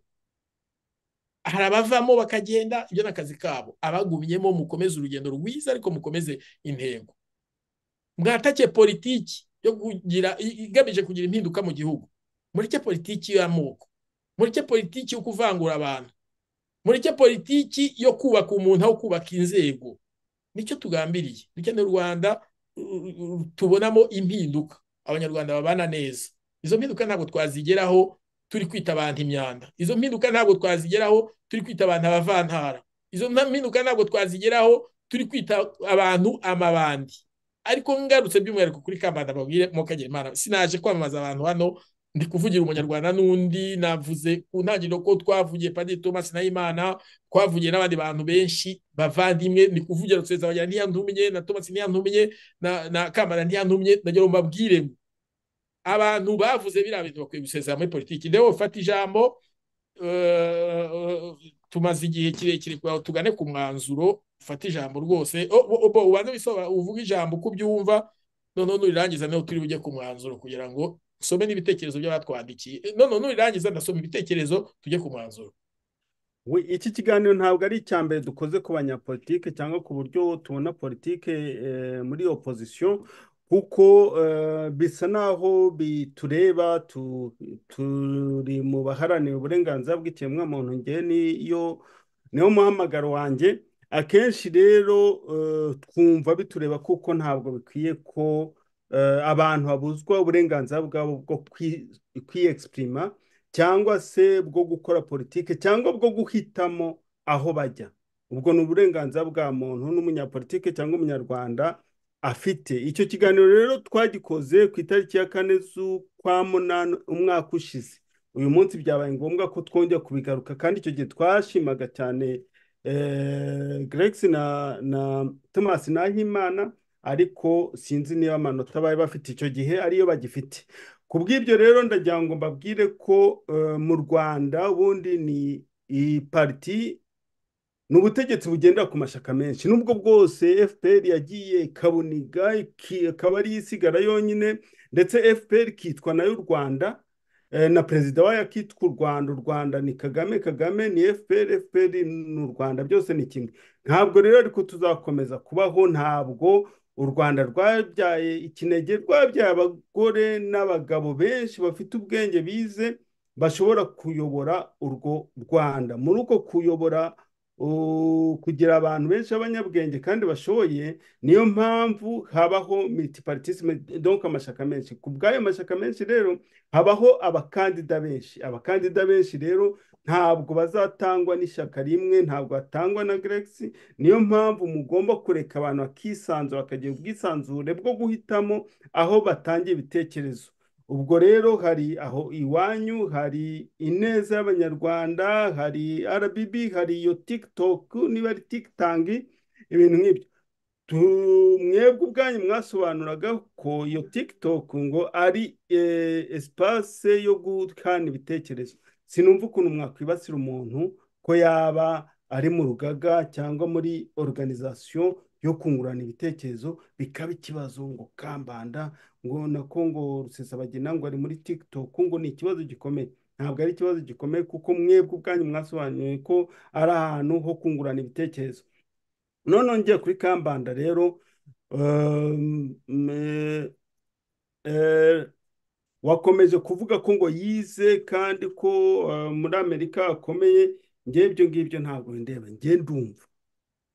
Mujye mwumva. Mwumve ibitekerezo. Mwumve ibintu umuntu avuga. Mwumve icyo agamije. Mwumve icyo aharanira. Ntabwo dukeneye kumenya amashuri ya kambanda. Abantu batanga inama bavuga ibintu nk'ibyo kambanda avuga ntabwo ari benshi. Ku bw'ibyo rero sinkeneye kumenya amashuri ye icyo mbona ni umuntu w'umunyabwenge ni umuntu w'ingirakamaro ni umuntu abantu bashobora kujya kumva ibyo avuga. Niyo mpamvu yakoze ariko deo hari uburyo kera bajyaga bifashisha nk'umunyamategeko witwaga evoda aza kuba igifobagane. Ariko hari n'undi witwaga mwine frank wakundaga kuvuga kuri bbc puru interpretation y'amategeko amwe n'amwe yo habaye kugira ngo abantu basobanukirwe. Muri kino gihe iyo havutse ikibazo kuri za analize ku bintu bijyanye n'amategeko abantu hari bamwe mu banyamategeko bayize batavuga ni uburenganzira bwabo cyangwa badashaka kujya muri public. Muri iki gihe rero abantu bajya baza nka kambanda bitabaza uwitwa valante menya ari akayezu niba ari valante niba nibuka neza ni valante ariko akayezu ukwa hari na rusagara hari n'abandi bandi noneho ndumva ari abo bakunze kugaragara. Kuba rero hari umuntu ushobora gusobanura ku bintu birebana n'amategeko numva nta n'igitangaza kirimo ko abantu bamwiyambaza. Ni na opportunité dufite ahubwo twagombye guprofita abo bantu tukababyaza umusaruro. Ijambo ni iryawe komeza nyakubahwa we ariko uvuze n'abandi banyamategeko kandi nabo bari kunyumva nabo ntibishyire ku murongo. Abo uvuze n'abandi baba bari hanze baba barize amategeko buri wese yishyire ku murongo turareba turareba kwa. Rero kambanda ntabwo ari ukumwamamaza ikintu cyiza tujye tukita icyiza tugire umucyo wo kubahana no icyiza tukavuga ko ari cyo. Kambanda atanga ibitekerezo byiza biriya bya ruwa konstitutioneri vurema arabimetiriza ni umuntu w'ingirakamaro. Kandi rero ikindi kintu mu gutabara abanyarwanda hari igihe n'ayo mategeko atakenerwa. Kuko murabizi nyine nk'icyo gihe byari bikomeye. Ntabwo ari amategeko nta nubwo ari n'amashuri yakoraga. Hakora umutima. Uwo mutima rero utabara abanyarwanda ukambanda yarawugaragaje. Noneho kuba yatanga ibitekerezo muri za organizasiyo platiforume zinyuranye nta kibazo kirimo. Nko muri RBB harimo abantu baturuka mu mashyaka menshi harimo abantu baturuka muri za pariti sivile batandukanye. Hashobora kuboneka ikindi kintu. Rero ni uwo muco wo kugira amashyaka atandukanye abanyarwanda bari kwitoza ko hari umuntu ushobora kujya mu ineza y'abanyarwanda akaba ashobora kujya muri tange niba ari tikitongu akaba ashobora kujya muri geregisi hakaba hari ushobora kujya muri iryo shyaka rya kansinge ntabwo tugomba kuba abanzi bavandimwe nta nubwo tugomba kubipfa. Ahubwo uzaba afite ibitekerezo byiza ubwo ni we uzayobora. Uzaba afite abamushyigikiye cyangwa n'uw'imana izahitamo ni we uzayobora. Mwe gukomeza gushaka kurema ibinege. Ibinege ku buryo abo bantu baba indakoreka bakiyandikisha muri za konstitusiyo bakamera nka kuriya kuntu madamu wiringiye imana agata yabayeho ibyo bintu rwose tubyirinde. Twumve ko buri wese mu mwanya arimo ashobora kugira akamaro mu kubaka u rwanda rw'ejo hazaza. Noneho muri uko kubaka u rwanda rw'ejo hazaza hazaba harimo ibitekerezo bitandukanye biva mu mashyaka atandukanye mu bantu batandukanye. Noneho eh, kuba kambanda muvuga ko atari umunyarwanda abana mubyarira aretranje muzababaze bababwire ikinyarwanda bavuga. Abana banjye iyo avuga wagira ngo ni padiri mukuru urumva nanjye hari uwo tujya turwana bavuye mu rwanda afite imyaka nk'umwaka umwe hafi ibiri gutyo wapi? Ikinyarwanda avuga nyine bajya bamwita n'umunyamurenge mu rwenya nyine. A- abana banjye rwose ngo bakirisitu bavandimwe eh, papa yanguriye ikabutura none njye kuyibereka abana banjye bavuga ni ni padiri mukuru rwose bavuga nk'abapadiri mukuru turumvikana mbabwira ikinyarwanda bisanzwe rwose nk'uko turi kuvugana ariko bansubiza icya cya padiri mukuru. Ntabwo rero navuga ko atari abanyarwanda. Ni abanyarwanda nibajya mu rwanda. Icyo gihe bazakiga bakivuge nk'abandi.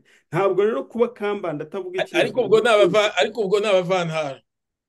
Mba- ubwo kuba bibona gutya ariko njye siko mbibona si- siko mbibona. I- histoire yacu yabaye mbi kandi irimo ibibazo bin- binyuranye. Niyo mpamvu ikeneye abagabo n'abagore benshi bafite imbaraga bafite kwitanga bafite ibitekerezo binyuranye kugira ngo tubashe kubona igisubizo. Kugira ngo tuzabone igisubizo rero aba ba kambanda tuzabakenera ba turayishimiye turabakenera na- na- n'abandi banyuranye. Hanyuma icyo gihe ni bwo ibitekerezo bizajya hamwe bikabyara u Rwanda twifuza. Kuko urwo Rwanda rwagize histoire zikomeye havamo impunzi zinyuranye. Ku bw'ibyo rero eh, kuva multipartisme yemewe mu Rwanda no muri opozisiyo mwebwe muri opozisiyo mwagombye kuyemera. Kandida inike yari Habyarimana igihe cya kandida inike cyararangiye. Ntabwo u Rwanda rukigira ibinege u Rwanda rufite abagabo n'abagore benshi bashobora kuyobora ariko deo icyo gihe niko constitution itegeko nshinga niko byabivugaga icyo gihe. ariko ndabona ariho tugana ni ho FPR tuganisha buno ariko ntabwo amategeko abivuga ari kimwe mbere constitution ba- yo mu Rwanda yavugaga ko umuntu wiyamamariza ku mwanya wa perezida wa repubulika agomba kuba ari perezida fonateri wa MRND buno si bivugwa. Buno ku mwanya wa perezida wa repubulika ni umuntu wese ubifitiye ubushobozi bagashyiraho na kondisiyo komeza. Kandi twese twavukaga turi muri me- MRND twitwara abanyarwanda mu ishyaka twibumbiye mu ishyaka rimwe rukumbi icyo gihe ariko step byari biteganyijwe mu itegeko byo ntawe ubigiye ku ruhande. Uyu munsi Eh. urabona ko itegeko rivuga buri wese ariko n'ubundi wajya mu gikari bakaburungushura bakabishyira ku muntu umwe. Ariko rero ubona ibyo bintu byaratugiye mu maraso ku buryo FPR perezida avuga ko ngo yiyamamarije ngo kuba perezida ngo kandi ngo kazasimburwa ndetse Deo ntabwo perezida avuga ko yiyamamarije kuba perezida nta nubwo babyanditse ejo bundi mu makuru batanze ejo wenda tuzabikorana n'ikiganiro ejo bavuga ko Kagame babimusabye. FPR yari abimusabye ntabwo yagiye kwiyamamaza ku bushake bwe barabimusabye. Ni gute avuga ko aba umwana we azamusimbura kandi nawe ubwe ataraba perezida? Barabimusabye bazabisaba n'umwana we. N'umwana ba- babinyujije muri kagame. Abanyarwanda rero tuve mu bintu by'uburiganya n'ibintu bidashoboka kumva ko muri ba kamara. No nta muntu kamara uriho kagame azavaho u rwanda ruyoborwa n'undi munyarwanda. Noneho eh, ni eh, muri iyo pozisiyo ntibishoboka ko hagira umwe ujyaho nta muntu waremewe uriya mwanya. Icyakora uburenganzira bwo kuwuhatanira bwo mwese murabufite. Ariko ntimushake gushyira ibihato kuri bagenzi banyu ngo ntabwo ari abanyarwanda ngo ngo ni abajura ngo ni ibintu nk'ibyo utamenya uko bimeze. No. Icyakora nshobora kuba mvuga ahangaha wenda nshobora kuba ahari ndi umujura ariko ibitekerezo nzana ahangaha ni ibyo muri bukiritike ubujura bwanjye ntabwo bu- nabuvuze ahangaha ntabwo bukenewe. Icyakora nimuvuga nzabwisobanuraho. Ariko ntabwo ariyo sije y'uyu munsi. Ubwo rero ndumva mu by'ukuri eh, umuntu igitekerezo afite kambanda ibitekerezo afite ni ibitekerezo byubaka abazakenera gukurikira imiga- imigabo n'imigambi ye bazabikurikira abazakenera kujya muri Grex bazakurikira abari muri RBB nabo bazajyamo mwe gukomeza kugira kugira ikintu cyo guhangana mu buryo bwa butari bwiza. Ahubwo mwemere ko abantu bashobora gusimburana ku butegetsi kandi ko buri wese afite ubwo burenganzira kandi ko uwo mudahuje pariti politike ntabwo ari umwanzi wawe. Duhangane mu bitekerezo twe guhangana mu bintu by'ubwanzi bimwe byarangiye. Hashize imyaka mirongo itatu murabyibuka ibintu twanyuzemo twagombye kwiga. Kugira ngo habe kuriya guheza inguni ni uko abantu babwirwaga ibitekerezo ko abandi abantu ari babi. Tuhangane mu bitekerezo twe guhangana mu bintu by'insangano. Urakoze ngarama reka ngo usubize ijambo. Urakoze cyane muvandimwe deo nyirabigwi ubundi deo iyo turi kumwe mu kiganiro rwose turuzuzanya cyane. Niyo kinshimisha burya maze igihe nkora ibiganiro ndi jyenyine ariko burya abantu ari babiri bajya bavuga nyine ngo ngo iyo babiri bahuye basana sinzi ukuntu babivugaga. Hari icyo bageraho abandi umwe atageraho. Turi kugana ku musozo ndabona hashize amasaha abiri. Reka tujye ku ngingo ya kabiri ikurikiyeho. Bo sindi bugaruke cyane ku byo Leo yari amaze kuvuga ku bijyanye na taranzisiyo aho kuri iriya taranzisiyo ni ikibuye cyahiritswe gikomeye kandi abagihiritse nibo bakivuze yigeze abaza ku kintu kijyanye Leo yagarutse avuga ati referanse bahereyeho. Bari mu kiganiro babitangiye ari na byo bari kuvuga iyo umuntu yahamagaje ikiganiro afite ibyo bo aba afite uburyo nta referanse bavuze. Ahubwo bari mu kiganiro basomye bavuga ko hari umuntu ubandikiye ngo bambwiye ko ngo byatangajwe ngo hari n'umuntu ngo wabitangaje ngo ufite radiyo yitwa rukongo etanu ni umukongomani witwa mukendi wukwa sinibukaneza izina rukongo etanu niyo nzi bigaragara ariko ko babibabwiye nabo babinyuraho ariko batari bazi batari bafite iyo referanse ni uko ari byo babonye inyuma. Reka rero ngaruke ku kantu ka nyuma gato ngira ngo ntangirizeho ari ikibazo dufite gikomeye cyo kuguma kwamamaza urupfu rwa perezida kagame ni byo byagarutsweho cyane cyane muri ibi biganiro na byo bakivuzeho mu biganiro byose bavuga ko ngo uwitwa jean paul turayishimiye yavuze ko kagame yaguye mu maguru ya ruto bavuga ko hari n'ibindi bitangazamakuru byavuze ngo ku nkuvu kagame afite mu mutwe w'uko ngo ashobora kuba yarabazwa ari indembe ngo bo ngo bakaba batemera ko ngo existence cyangwa kubaho kwa kagame batabyemera abo bose ngo ni abasazi ni abakozi b'umwanzi nanjye nkaba narakoze inkuru ku bijyanye n'inkovu iri mu mutwe wa kagame. Ntumiza n'umuganga witwa hakizimana cyangwa hakizimfura atanazi aza gusobanura ibijyanye n'indwara zo mu mutwe. N'ubu naramuhamagaye mu kiganiro twakoze hano kuri radiyo televiziyo rbb kubera rero numvishe ibyo byose numvishe ko nanjye ibyo ari byo byose bindeba ndavuga ntese n'uyu munsi wa none ndavuga ntese ibi bintu bimeze gute? Ejo ikiganiro nabonye nabwo kivuga ku bijyanye n'ijambo kagame yavuze ubwo bamutoreraga kuba umukandida cyangwa ubwo yashimutaga nyine ibyo kuba umukandida wo kuzahagarara rpf bavuga ko ngo abantu bakomeje ngo gucura uburwayi cyangwa se urupfu sinibuka neza titire uko ibivuga sinyifite hano hafi. Ariko bavuga ko ngo reka nze nyirebe neza twihangane tujye tuvuga ibintu ahangaha isi yose ibitureba buri wese arakubona niyo mpamvu tugomba kuvuga ibintu biri nyabyo.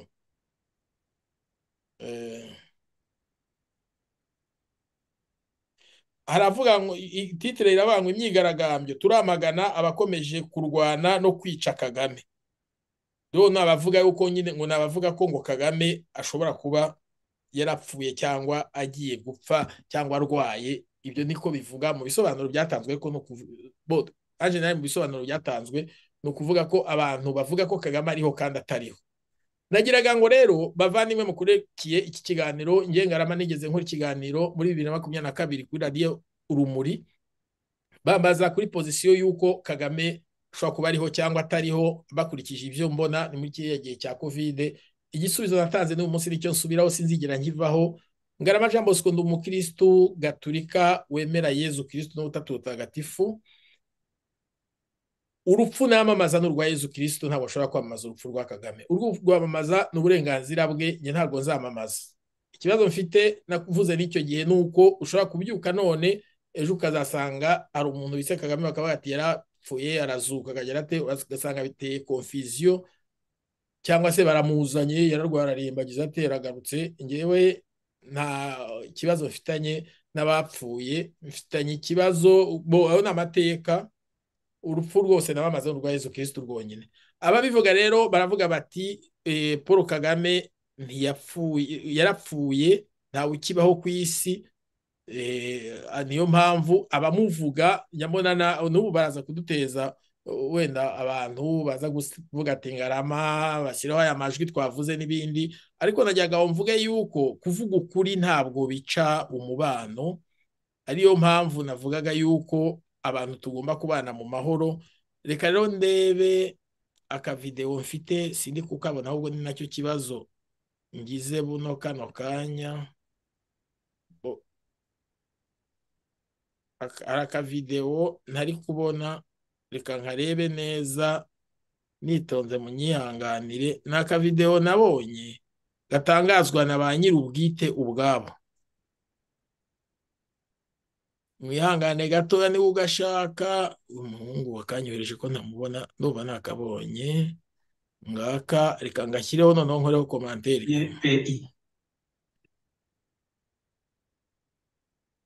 nari navuze ko ntavuga amazina mu nyihanganire ariko reka tuyavuge ku mwishu aka kavidewo tujya gushyiraho ni urukiko rwa rubanda rwashyizweho na geregisi geregisi rero rwose iyobowe na nayimana tomasi geregisi ndayemera tomasi nayimana ndamwubaha ibitekerezo bye ndabyubaha kuko bigamije impinduka mu gihugu cy'u rwanda.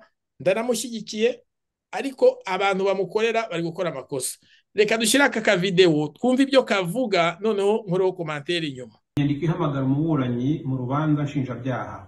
Umwaka w'ibihumbi bibiri na makumyabiri na kane umunsi wa cumi na gatanu z'ukwezi kwa mutarama urukiko rwa rubanda urwego rwa mbere ruburanisha imanza nshinjabyaha twebwe abdara akishuri umwanditsi mukuru w'urukiko rwa rubanda dushingiye ku ngingo ya makumyabiri na kane makumyabiri na gatanu n'iya mirongo itatu na gatatu y'itegeko teka nomero zeru rimwe akarongo kaberamye ryo kuwa cumi na kane mutarama umwaka w'ibihumbi bibiri na makumyabiri na kane rigena imiterere imikorere n'ububasha by'urukiko rwa rubanda n'ingingo za mirongo itandatu na gatandatu mirongo itandatu na karindwi na mirongo itandatu n'umunani z'itegeko nimero mirongo itatu. Akarongo kaberamye bibiri na cumi n'umunani ryo kuwa kabiri z'ukwezi kwa gatandatu umwaka wa bibiri na cumi n'umunani rigena ububasha bw'inkiko mu rwanda tumenyesheje bwana paul kagame mwene deogratias rutagambwa na asiteria bisinda wavutse ku makumyabiri na gatatu z'ukwezi kwa cumi. Umwaka w'igihumbi kimwe magana cyenda mirongo itanu na karindwi avukira ku musozi wa nyarutovu. Mu ruhango komine tambwe gitarama utuye cyangwa se ubarizwa cyangwa se ukorera kuri mirongo itanu na kane ka je karindwi aveni kigali mu rwanda telefone guteranya magana abiri na mirongo itanu karindwi umunani mirongo itatu cumi na gatandatu magana inani mirongo ine na rimwe email info arobaze gov akadomo rwa twitter cyangwa se x arobaze paul kagame arobaze urugwiro village. Yashakanye na jeannette nyiramonge bafitanye abana bane yahoze ari umusirikare mu rwanda rwa ku rwego rwa jenerali majoro akaba ari perezida wa repubulika y'u rwanda guhera ku makumyabiri na kane werurwe umwaka w'ibihumbi bibiri. Ko agomba kwitaba urukiko rwa rubanda ruburanisha imanza nshinjabyaha ku wa mbere gashyantare umwaka w'ibihumbi bibiri na makumyabiri na kane saa moya z'umugoroba ku isaha z'i kigali ku buryo bw'ikoranabuhanga kuri isunijuru tv kugira ngo yiregure ku kirego yarezwe n'ubushinjacyaha mu rubanza nomero rp zeru zeru rimwe akarongo kaberamye urda akarongo kaberamye makumyabiri na kane pi haburana ubushinjacyaha bukuru na perezida paul kagame. Ibyaha aregwa. Icyaha cyo kwica bikomeye kandi nkana itegeko nshinga giteganywa n'ingingo y'ijana na gatanu y'itegeko nshinga rya repubulika y'u rwanda icyaha cy'ubugambanyi bugambiriye kugirira nabi ubwirengere bwa leta y'u rwanda umubano wayo n'amahanga cyangwa ubukungu shingiro bw'igihugu gutuma u rwanda rushorwa mu ntambara cyangwa rushyamirana n'ikindi gihugu giteganywa mu ngingo ya ijana mirongo icyenda na kabiri ar karindwi na ijana mirongo icyenda na karindwi z'itegeko nomero mirongo itandatu n'umunani akarongo kaberamye ibihumbi bibiri na cumi n'umunani ryo kuwa mirongo itatu kanama umwaka w'ibihumbi bibiri na cumi n'umunani riteganya ibyaha n'ibihano muri rusange. Ryahinduwe n'itegeko nimero zeru mirongo itanu n'icyenda akarongo kaberamye ibihumbi bibiri na gatatu ryo kuwa kane ukuboza umwaka w'ibihumbi bibiri na gatatu. Uregwa paul kagame umwanditsi w'urukiko abdala akishuri.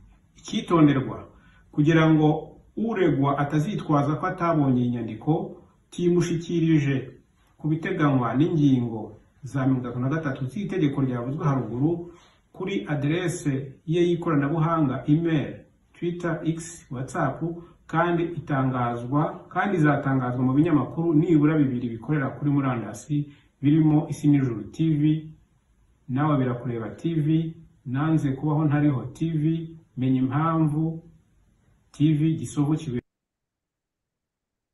murakoze cyane banyarwanda namwe banyarwandakazi. Ndagira ngo tujye ngarama jean bosco. Ntabwo nkeneye guhangana nawe ntaki ariko nibura turi mu kiganiro tuvugisha ukuri. Nta madetaye yandikira kuri ibi bisomwe. Ni uko mu biganiro nko mu kiganiro navuze nyuma abantu no muri biriya biraganiro bindi byose navuze bagiye bagaruka bavuga ko kagame yapfuye. Ngubu uvuga ko kagame ariho ni inyangarwanda ariho bikoma jean paul turayishimiye bikoma abandi hari n'ibiganiro natwe twakoze bikomye. Abo babivuga n'ejo bakoze ikindi kiganiro kagame bamaze kuvuga ko azaba umukandida bari kumwikoma nabwo ko ngo yapfuye ngo ahubwo ngo abavuze ko ngo yagiye kwivuza ngo mu budage ngo yagiye yamara iminsi ibiri aragaruka niko bavuze. Ngo bavuga ko ngo yagiye mu budage ari wa wundi bajya bita david noneho ngo bamuhindurira masike ngo aragaruka ngo azi imbere y'abanyarwanda. Reka tubyemere ni byo ntacyo bitwaye. Ariko mu by'ukuri tugomba kubwiza buri wese agomba kuvuga uko abyumva. Niko babiyumva niko banabyemera ndabyemera. Ariko nanjye mfite uburyo mbyemera. Noneho nimba ubyemera gutyo kuki ushaka gukora ikintu cya kontaradikisiyo kontaradikisiyo ni ukwivuguruza mu rurimi rw'ikinyarwanda. Kuki uru rukiko ibyo byatangarijwe kuri radiyo yitwa iriya yitwa nanze kubaho nta yindi yindi yitwa gutedeho bavuze yindi ya kabiri. Iriya tarisisi inkingi y'umuriro. Oya inkingi y'umuriro nanze kubaho ari intera ya mwemayire. Mwemayire ni mwenze kubaho nanze kubaho. Iriya tarisisi yitwa oya. Nawe birakureba. Hari nawe kureba hari nanze kubaho n'iriya nkingi y'umuriro. Abo bantu batangaza ko kagame yapfuye nibo iyi televiziyo nibo uyu mucamanza uyu mugerefiye akozeho referanse avuga ko ari bo bazabitangazaho. Ibyo uyu mugerefiye atangaje rero ahamagaje kagame mu rukiko rwa rubanda ni urukiko rwa giregisi urwo rukiko rwatumiye umuntu witwa paul kagame bavuga aderese ye n'imyirondoro ye n'aho atuye n'uwo bashakanye identifikasiyo yose n'umunsi agomba kwitabira urwo rukiko. Ikibazo mfite rero sinshaka ko tuza uri mu madetaye deho ntabwo ari igitugu sinicyo ariko ntacyo uraza gucomeka. Ko ushatse ariko ntitujye mu madetaye sindishaka. Bavuga ko yapfuye. Nibyo pe. Ni uburenganzira bwabo niko babibona. Ntawe navuga ntawe najya kuvuga sinagira gute. Nanjye nshobora kuba mbishyigikiye cyangwa mfite ubundi buryo nshyigikiye. Ariko hano urwego rundi rw'ubucamanza rwo muri giregisi ruhamagaje uwo perezida kagame. Nagira ngo nibaze bwana deho rwahamagaje kagame wapfuye rwahamagaje kagame ukiriho rwagahamagaje kagame wahehe mu mategeko reka tujye muri duruwa nubwo bon nta mategeko y'igitangaza nzi ariko nzi make ashobora kundengera reka ariko mbivuga mu yandi magambo. Muri mu mategeko ubundi bivugwa ko ubukurikirana cyaha ubuzime ku byaha by'inshinjabyaha bujyanwa n'uko umuntu yapfuye. Ariko birashoboka no mu bundi buryo ko umuntu ashobora kuburanishwa yaranapfuye yaranapfuye. Ariko se iyo ahamagawe turi muri porosedire mu bijyanye no guhamagarwa iyo umuntu ahamagawe ugomba kwitaba urukiko ahamagarwa kuri aderese yiwe ku murimo akora do n'aho atuye aho aboneka. Ahangaha kagame yahamagawe aho atuye aho aboneka. Bahamagaye kagame uri rusororo bahamagaye kagame wapfuye uri hehe bahamagaye kagame uherereye he? Uyu ni umushinja ni umugerefiye wa galegisi bipositinze kuri televiziyo yananze kubaho ni ho nabikuye. None nimba umuntu avuga ngo abavuga ko kagame ariho ni abanyabyaha iyi video n'uru rukiko rwabo ubwabo ba nyirizina banabipostinze kuri televiziyo yabo ni ho nabikuye. Nanze kubaho umugende mubirebeho murabibona biriya bintu nabikuyeho. Babipostinze bavuga ko bari kumuhamagara mu kuzimu kugira ngo aze kuburana. Ese muri duruwa nabivuze. Ibisobanuro ntari busubiremo. Ubundi ubuzime ku bijyanye no gukurikirana icyaha iyo umuntu apfuye ubuzime buba bukuweho. Baba bafite amategeko mashyashya ku buryo bayahimbye noneho bakaba bashaka gukurikirana umuntu wapfuye batatubwiye referanse y'itegeko bakurikiyeho banarikoze. Bari kuvuga kumutumira ko yapfuye ariko ari agisiyo sivile bashyizeho itari agisiyo penale none se umuntu wapfuye bari kumuhamagara ngo azitabe azava mu isanduku no mu butaka avemo aze gute? Yitabe gute? Aderese bari kuvuga aderese atuyeho n'umugore we na imeri umuntu wapfuye agira imeri. Umuntu wapfuye agira aderese. Umuntu wapfuye ndetse azava mu isanduku na whatsapp aze kwitaba mu isanduku. Uwo mucamanza uzamuburanisha si uzamuburanisha umuntu wapfuye? Ntabwo ndigera numva umuntu uburanisha umuntu wapfuye ku isi. Ni ukuri kwimanaho mu ijuru. Bantu twumvikane. Tuve mu binyoma tujye mu kuri. Dewo umuntu utumwe ariko nta komantere nyinshi mbishakaho. Video nayerekanye sinashyizeho iyo babivuze ariko babivuzeho bayikoma abantu bose ngo bavuga ko Kagame yapfuye.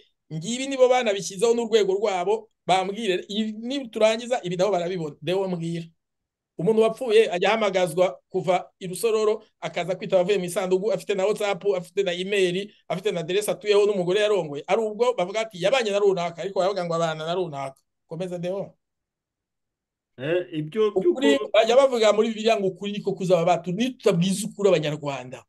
Nitutabwiza ukuri abanyarwanda. Bazibwira ko turi ibicucu. Abantu bazajya bavuga bavuga eh vuga pozisiyo imwe ubwo rero ijambo ni iryawe.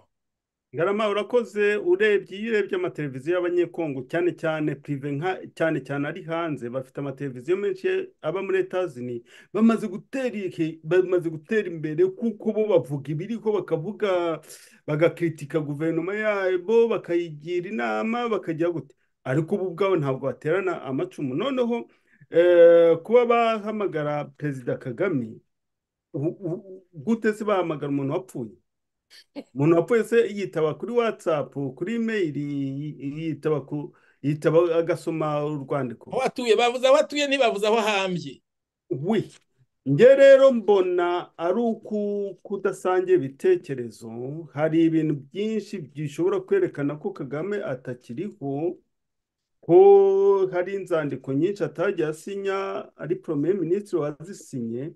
Ariko kuki ibyo ngiye nemera ngomba kubihatira? Rubanda. Ngomba kubihatira abatabyumva kimwe nanjye. Ko ari wa mwitozo waduruwa nyine ya egisipuresiyo waduruwa yo gutekereza waduruwa yo guhitamo. Abo mu byumva kimwe mwakomeje urugendo. Buri pariti politike buri muryango ugira sitarateji ukagira na tagitike mwebwe ubwo ni sitarateji mwafashe. Wenda ishobora no kubyara umusaruro. N'abandi nabo bafite sitarateji bafite n'amahame bagenderaho. Hari ibyo bemera mutemera hari ibyo mwemera. Ntabwo tuzaba ibinege ntabwo tuzaba impanga kugeza isi irangiye. N'abana mwabyaye. Niba mwumva ibintu kimwe n'abana mwabyaye mufite amahirwe. Niba wumva ibintu kimwe n'umugore washatse mufite amahirwe. Niba wumva ibintu kimwe n'umugabo wagushatse ufite amahirwe. Ntabwo bibaho ni byo uriya mugore yavuze ati barundi barundi kazi nta na rimwe tuzangana n'abagabo. Iki dushobora kugira duruwa zimwe umugore n'umugabo ariko se umugore azaba umugabo umugabo umugore ntibishoboka umugore azakomeza umugore umugabo umugabo. Ubwo rero ku bw'ibyo no muri politike mureke gukomeza guta igihe gutesha abantu igihe. Hari amakuru menshi hari ibintu byinshi tugomba kuvuga kujijura abanyarwanda kubereka ibitagenda kubereka ibyagenda kuberekana nivo ndende twagombye kugeraho kuko urugero natanga ni nka bariya basirikare bapfira ku rugamba ni benshi cyane. Umuntu witanga rero agapfa kuriya uramutse umutoje ubundi buryo bwo kubaho cyane cyane ko turi muri gararake gararake tukagerageza kureba uburyo twazayobora tukayigiramo uruhare. Izo batiri eneriji veri ni byo bigezweho. Bitatu bya bitatu bya kane bikaba bituruka mu gihugu duturanye twagombye kuba abamiliyarderi. Ariko se twaba abamiliyarderi gutya? Gute? Dutekereza gutya. Dutekereza nko mu gihe cya miri setisa aho umuntu umwe yavugaga abandi bagakoma amashyi kandi ntabwo ari muri opozisiyo gusa no mu rwanda ni uko. Nta muntu n'umwe witekerereza bameze nka za moto. Moto mu kiganiro cy'ubushize narabivuze. Moto y'imbere yigiye izindi zirayikurikira. Kuki tutakwitoza gutekereza ibintu bizima? Tukava mu matiku ahubwo tugashaka ibintu bitwubakira tugashaka uburyo twakubaka ejo hazaza. Abandi batangiye kubaka bicaye iruhande y'umugabo. Abandi batangiye kubaka za feri ibibuga by'indege ibiki. Imyaka mirongo itatu irashize nta kibuga cy'indege kirubakwa nta feri irakorwa turacyari mu matiku. Buretse gato buretse gato deho. Wicaye iruhande y'umugabo wuguruye n'amazi akunaniye. Yaba atari n'umugabo wawe ubanza kumuha ngo akugururire. Kubera ko utari kugiyugura iryo cupa? Ako ni akararo gatoyi kerekana ko ibintu byo kungana abagabo n'abagore banza mu byibagire mu gihugu cy'u Burundi ibyo ntabwo bizokwigira biba. Niho kutubahana bitangurira. Na bibiri bivuga ngo umugabo ni we mutwe. Abantu bamwe bararigora bakavuga turuzuzanya imana ifite do yahaye umugore ifite na do yahaye umugabo turuzuzanya ntawe uri hejuru icyo nemera ntabwo umugabo ari hejuru y'umugabo ntabwo aruta umugabo n'umugore ntabwo aruta umugabo. Ariko kuba tuzangana ntibishoboka ntibishoboka abana byaye abavandimwe mwavukanye ntimungana. Ntibishoboka ntabwo abantu bangana rero. Icyo kora baruzuzanya buri wese afite karite ye undi afite ibyo azana. Natwe rero muri opozisiyo twitoze ibyo bintu. Tumenye ko tutangana tumenye ko tudashobora kumva ibintu kimwe tumenye ko tudashobora gukora pariti imwe. Hari abantu bavuga ngo ngo muzishyire hamwe ngo impamvu ngo mutajya kuri byinshi ngo ntabwo bikenewe. Tugomba gukora za insititusiyo zikomeye nyinshi tukagira ibitekerezo bitandukanye byinshi. Ibyo bitekerezo ni byo bizatuma dukora ikintu gikomeye kitajegajega. Naho igihe muzajya pariti imwe ntabwo ari defu icyo kintu kigira. Ibi bahora ari abantu nkakora kwa fpr rimwe ni abakono ubundi ni abo mu kidabo hari n'ikintu bavuzemo wari ugiye ahantu heza tujye twibukiranya si guca mu ijambo. Bavuga ngo rusesabagina ngo agomba kuza kubasobanurira ngo impamvu ni iki? Nko kurandire konti. Abo bantu ni bande? Ni ibiki bashaka ko rusesabagina abahereza konti? Bamutumiye se bakamuha komvokasiyo muri ruriya rukiko rwa rubanda akaza akababwira. Wowe uretse no mu rukiko rwa rubanda ariko aya maradiyo tubaho bagombye nimba ari umuntu ntawe ugomba guhereza undi konti nta n'umwe hano ntabwo turi mu gihugu ntabwo turi mu gihugu. Mu gihugu uburyo urwego rw'ubucamanza bushobora kuguhamagaza ubushinjacyaha ubw'ubugenzacyaha mu rwego abadepite bashobora kuguhamagaza bitewe na kompetansi ufite umunyarwanda wese bamuhamagaza ariko ahangaha turi ikintu gishoboka niba ufite radiyo ushobora guhamagara ati ngarama uzaze ndagushaka kugira ngo dusobanure kuri ibi. Hari twumvishe watangaje tubwira ibi. Bigeze bamuhamagara kuri radiyo rusesabagina ntiyajyayo cyangwa kambanda ntiyajyayo ngo avuge iby'ineza kugira ngo bavuge ko kambanda nibandi ngo agiye kubagurisha. Ni ubwisanzure narijye kumara amezi umunani ntavugira kuri radiyo kandi radiyo dukorana buri munsi kuko uposita ibiganiro ariko na rokipe nari ampeshe nta muntu ngomba ibisobanuro. Ibisobanuro ni ibyanjye bwite ngomba kwiyoruganiza uko nshaka nabona mbonye umwanya nkaza. Naba ntawe mfite kandi n'ibyo mvuga ntawabintumye kubw'ibyo rero nta muntu ngomba kubisobanura. Icyo akora nagukoshereje nagututse cyangwa se ibyo navuze byakubabaje ku buryo ubu n'ubu hari nimero yanjye uzanyandike tuganire tuvugane cyangwa unampamagare no kuri televiziyo yawe tugane nta byo guterana amagambo nta byo gutukana josipure yo kuza tukaganira. Ariko kumbwira ngo nzaza ngo njye nk'isobanurire kubera ikisi niyo waba uri na guverinoma. Guverinoma ubwo hari abazayiyoboka kuko ntabwo turajya mu gihugu nk'uko babivuze hari n'abazayoboka indi mitwe ya politiki. Iyo mitwe ya politiki n'iri mu rwanda turi kwitoza ko abanyarwanda bose bagira ubwisanzure turi kwitoza ko abanyarwanda bagira uburenganzira mu gihugu cyabo turi kwitoza ko iyo droit d'expression ibasha kugira ishingiro no gukomeza kuba abantu arikayike abantu b'abanyagitugu ngo bantu ihangane gatoya hari abantu batwandikiye. Reka mbinyuremo akantu gasigaye urakavuga mu gusoza. Ndaza kuguha nk'umuntu umwe cyangwa ibiri. Twafashe amasaha menshi cyane. ni furanse reka nyigire. Reka nyirangize. Nta muntu ufite uburenganzira n'umwana wabyaye ntabwo ushobora kumubwira ngo aze yisobanura imbere yawe. Nta muntu rero ufite uburenganzira bushobozi bwo kubwira abantu ngo ibyo batekereje ngo muri organizasiyo ngo bazaze kubaha raporo. No nta muntu ufite ubwo burenganzira urakoze. Urakoze cyane bwana deo. Reka nsome ku batwandikiye dusoze dufate iminota itanu dusoze. Ari uwitwa nyamihirwa kasiyene arabo ntari buze kuvuga icyo bikora aravuga ngo numva rero kuba bavuga kuri aba bagabo ko ari ikibazo tuba tugomba kuba tuvuga uwigize ubwoba agahunga akava muri politiki kuko politiki ntikorerwa mu mwobo.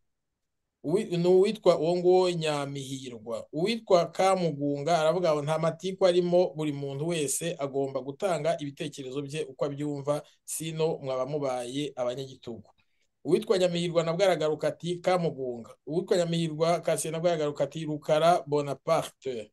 Uwitwa nyamihirwa nabwo aragaruka ati nanjye ndumva nta matiku ariho ariko none se ugira ngo tugende buhuminyi twongere tugwe mu mutego wa rpf witwa n'ubundi aravuga umuvantara ni umuntu wese ufite imikorere imigirire idahuye n'umuco nyarwanda. Ntabwo ariko tubyumva ariko ibyo avuga.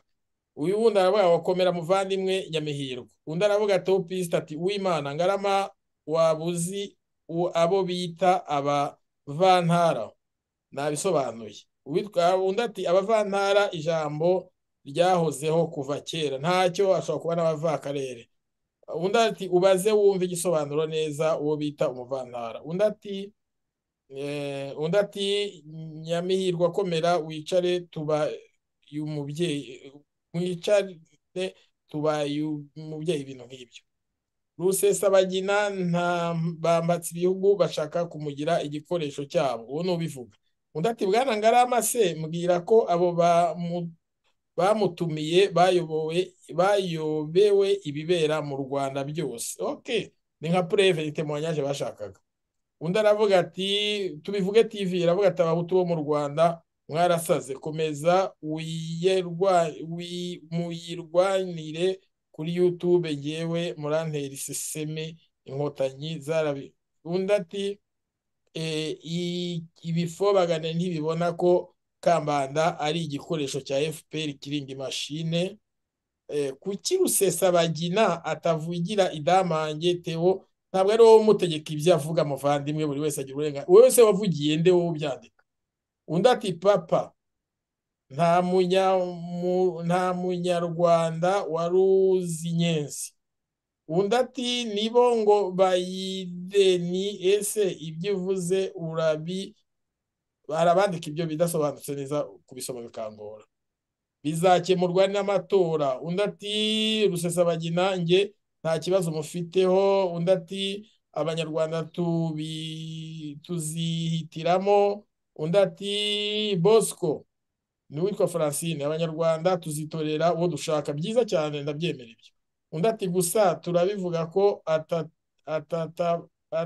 nta butabera ku bahutu bishwe n'inkotanyi. Ibyo twarabyemeje turabizi habayeho jenoside yabakorewe. Undi ati abanyarwanda bazihitiramo undi ati ese umubyeyi abahutu bishwe kayumba nyamwasa abahutu ese nta butabera bakeneye? Ni ngombwa ibyo ntawe ubirwanya. Undi ati iyo neza yanyu ishaka ko izo nkotanyi zakoze amabi ibyo ni poropaganda rwose. Undi ati n'ibiyamamaze kuko ni bwo buryo bwiza. Gariso dodiye ni umugabo nkunda cyane ukunze no gutanga ibitekerezo byiza. Aravuga ati bonsoir ngarama. Gurupe padiri bafite jaruzi ikomeye. Bazi ko padiri wabo ngo ari we ugomba kuzaba perezida. Yewe. Bazi ko bafite ubushobozi buke. Rero umuntu wese ufite diporomasi forte. Bahita bamurwanya. Undi ati ikindi hakenewe ubutabera kuri bose ni byo turabyemera ngo muvandimwe. Undi ati ineza ya bose idashyigikiye ubutabera nyakuri tuzayirwanya twivuye inyuma. Ubutabera ni ngombwa ntabwo nabo bapima. Abavantara abasogosi. Iryo jambo navuze ko njye ntarikunda kuko nanjye ndi mu mahanga nazitwa cyangwa abanjye mu muvantara nayimana ntari birye ntari birye nayimana ni umuntu w'umugabo rwose. Uyu garisodo diyatigana we none se wabonye gurupe padi yose itarwanya rezopoza dufite bari foro victoire ingabire rusesabagina dogiteri kambanda barabasenya kuko uriya padiri wabo afite ubushobozi buke cyane. Aha ntabwo abantu bose bahamagarwa muri pariroma justement tout comme atari n'importe qui atahamagarwa muri mezo blanche. Ibi ni byo bikunze nawe twamutora ariko kayumba we wapi? Undi ati nge ndakenera ahubwo nge ntekereza ko ahubwo bamuduhaye nka perezida byaba amahirwe cyane pe. Uwavuga ni rusesabagina. Undi ati nahimana padiri tomasi nta shyara agira yitangira abanyarwanda. Undi ati demokarasi abantu bavuga byo batekereza inyuma ubangamiwe akagira icyo abivugaho. Undi ati rwanda ndabakunda. Undi ati abavugizi ba rusesabagina niko atwita ntabwo umuvugizi we mvugira abanyarwanda. Undi ati ariko ndumva wagira ngo muri abavugizi ba paul rusesabagina tuvugira abanyarwanda muvandimwe. Na thomas twaramuvugiye nabivuze mu nguru muzayirebe. Undi ati oke ni byo reka tubireke ndumva ari mwe mwamuhetse wenyine. Undi ati ni byinshi bavuze hari mesaje zirenga ijana ntabwo nazisoma ngo zirangize. Reka tugane ku musozo w'ikiganiro. Twakoze ikiganiro kirekire ni bwo bwa mbere nkoze ikiganiro kirekire kuva nakwitwa natangira gukora ibiganiro kuri radiyo reka rero mu gusoza bwana deo nimba fata amasegonda mirongo itatu twariyegeje amasaha abiri usoze ikiganiro. Ijambo ni rya bwana deo. Urakoze ngarama. Ntabwo ngenda umuvugizi wa rusesabagina ariko ndemera ko ni bwo bwa mbere navuze nagiye kuri radiyo bwa mbere ngiye kuvugira rusesabagina kuko mparanira uburenganzira bwa muntu ariko biri no mu maraso yanjye. Ntabwo nkunda injisitise iyo hari injisitise wayikora uwo ari we wese twaba tuvukana tutavukana umuhutu umutwe umututsi aho yaba aturuka muri noru muri sidi wese birandwaza. Ntabwo mbasha kwihangana. Ku bw'ibyo rero ahari injisitise hari akarengane mba mpari. Ku bw'ibyo rero uwo byababaza ubwo nta kundi ni ukomeze ntabwo ngira inshuti nyinshi kubera uku kuntu nteye nanga akarengane pe. Ku buryo rero ntabwo njya iminwa iyo mbonye umuntu urengana ndahaguruka ngahagarara kugira ngo ibyo bintu bivemo. Ntabwo mvuga ko mfite ukuri ariko ku bya rusesabagina dabo narabibonye n'amaso ntabwo nabisomye ntabwo nabibwiwe narabibonye. Ku bw'ibyo rero aho bizaba ngombwa ko njya gutanga temonyaje njya kuvuga kumuvugira nzabivuga kuko yavuye ahantu hakomeye cyane yakoze ibintu bikomeye cyane kuba kiriho n'imana icyo gihe byari bikomeye. Niyo mpamvu rero ndahangaha ngira ngo simvuga impuha ahubwo mvuga ibyo nabonye nkomeze nshimangire kandi mpamye ko rusesabagina ni intwari. Nongere nshimangire kandi mvuge ko umukobwa we uburyo twese twarabyaye mfite abana bangana na karine kanimba ntabwo ibintu akora bingana naje ye ni ibintu bidasanzwe. Kandi ntabwo ari impano ihabwa buri mwana. Ntabwo bivuga ko abana batabikora ari ibigwari ahubwo hari abo imana iha ubwo butwari ikabahitamo. Nk'uko n'abantu bose ntabwo baba intwari kimwe.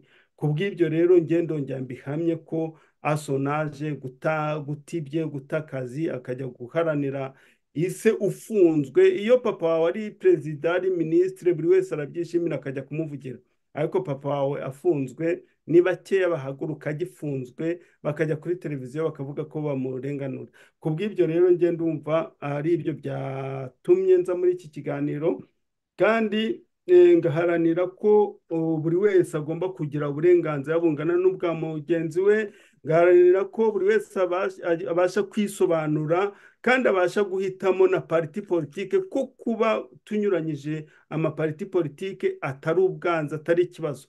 Nibyo bintu tugomba kwitoza. Impamvu bivuga ni uko ngiye mvuka mu ruhengeri ariko hari umugabo wari waranciye muri gare ya kigali muri mirongo icyenda na rimwe anziza ko ngo mukuru wanjye ari muri MDR ntabwo rero nyuma y'imyaka mirongo itatu tugomba kongera kwemerera abantu ko hari umuntu uzize undi ko batari muri pariti imwe.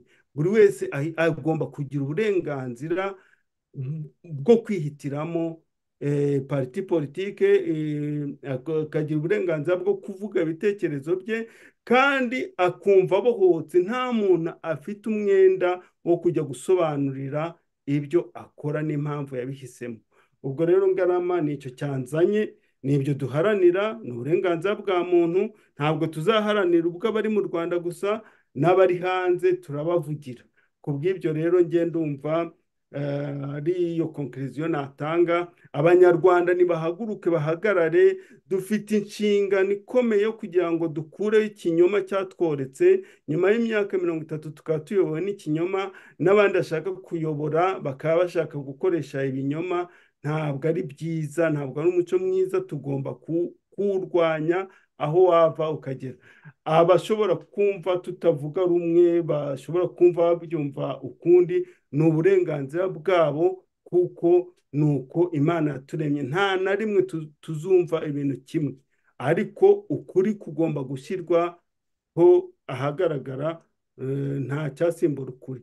Urakoze rero njye naje gutanga temonyaje y'ibyo nabayemo. Nkabivuga nuko mbyumva n'uzashaka ko nongera kumusobanurira ibyo navuze azantumire nongere mubwire ukuntu nta mwanya nabona wo kuvuga ku rusesabagina ari intwari mfite umwanya uhagije nabivuga birambuye urakoze.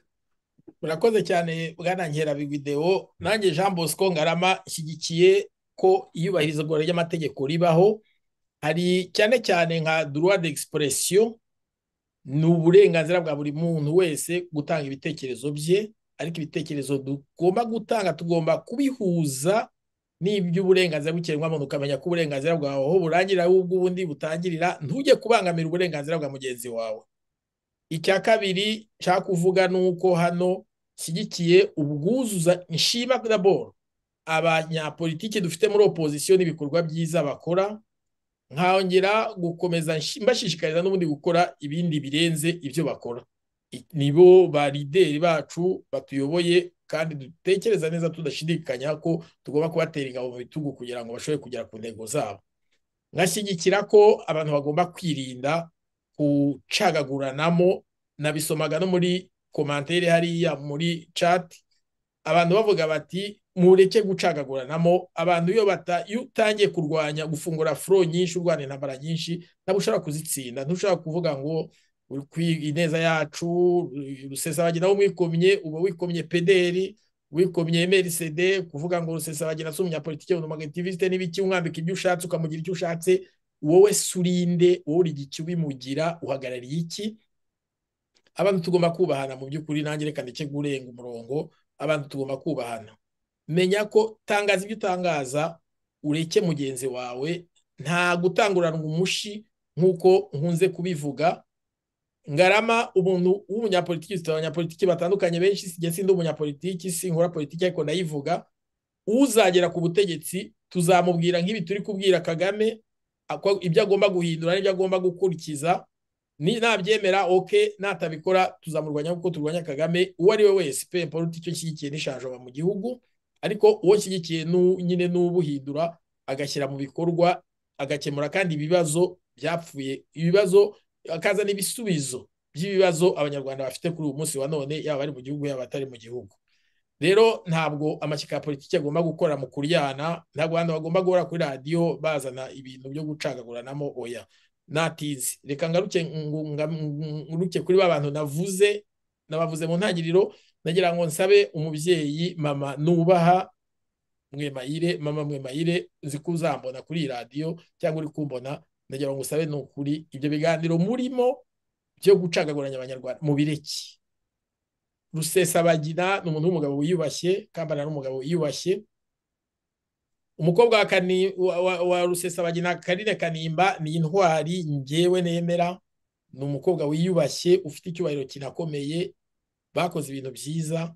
Hari n'abandi tutavuze mutavuze no muri ibi biganiro nabo tukoze umwanya wo kuvuga ku bantu b'intwari twavuga benshi. Abo mubareke kubatuka kubasebya kubita ko ari amadeshe kubita ko ari amabandi ntacyo byageza ku banyarwanda ahubwo biri kubacanishamo muri kino gihe tuzi ko dutegereje amatora geregisi yatanze umukandida mudufashe. Ahubwo natwe tubafashe. Twamamaza umukandida wacu nahimana tomasi ibindi tubireke nitwanga ntitutamwamamaza muzavuge tuba abantu barwanya geregisi ni cyo nshyigikiye. Ikindi nagira ngo nisabire nyakubahwa tomasi nahimana perezida wa geregisi tomasi nahimana ikintu ngiye kugusaba.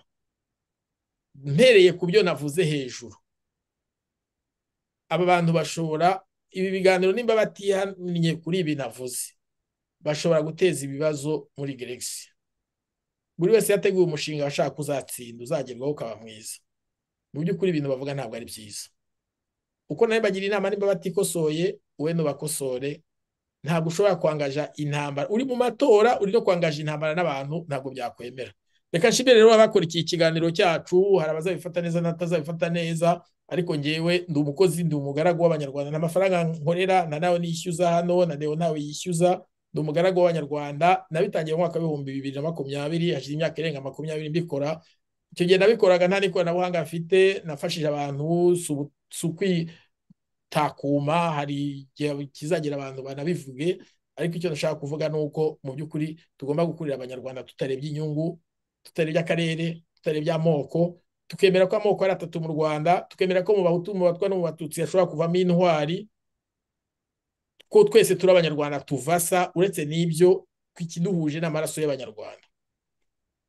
Rero nagiraga ngo nsabe wowe wese wakurikiye iki kiganiro kandi umukunzi wacu cyangwa se wifuza kujya ubona ibiganiro byacu ukore ahanditse sabusikarayibe munsi y'umutwe w'inkuru uzajya ubona ibiganiro byacu buri gihe.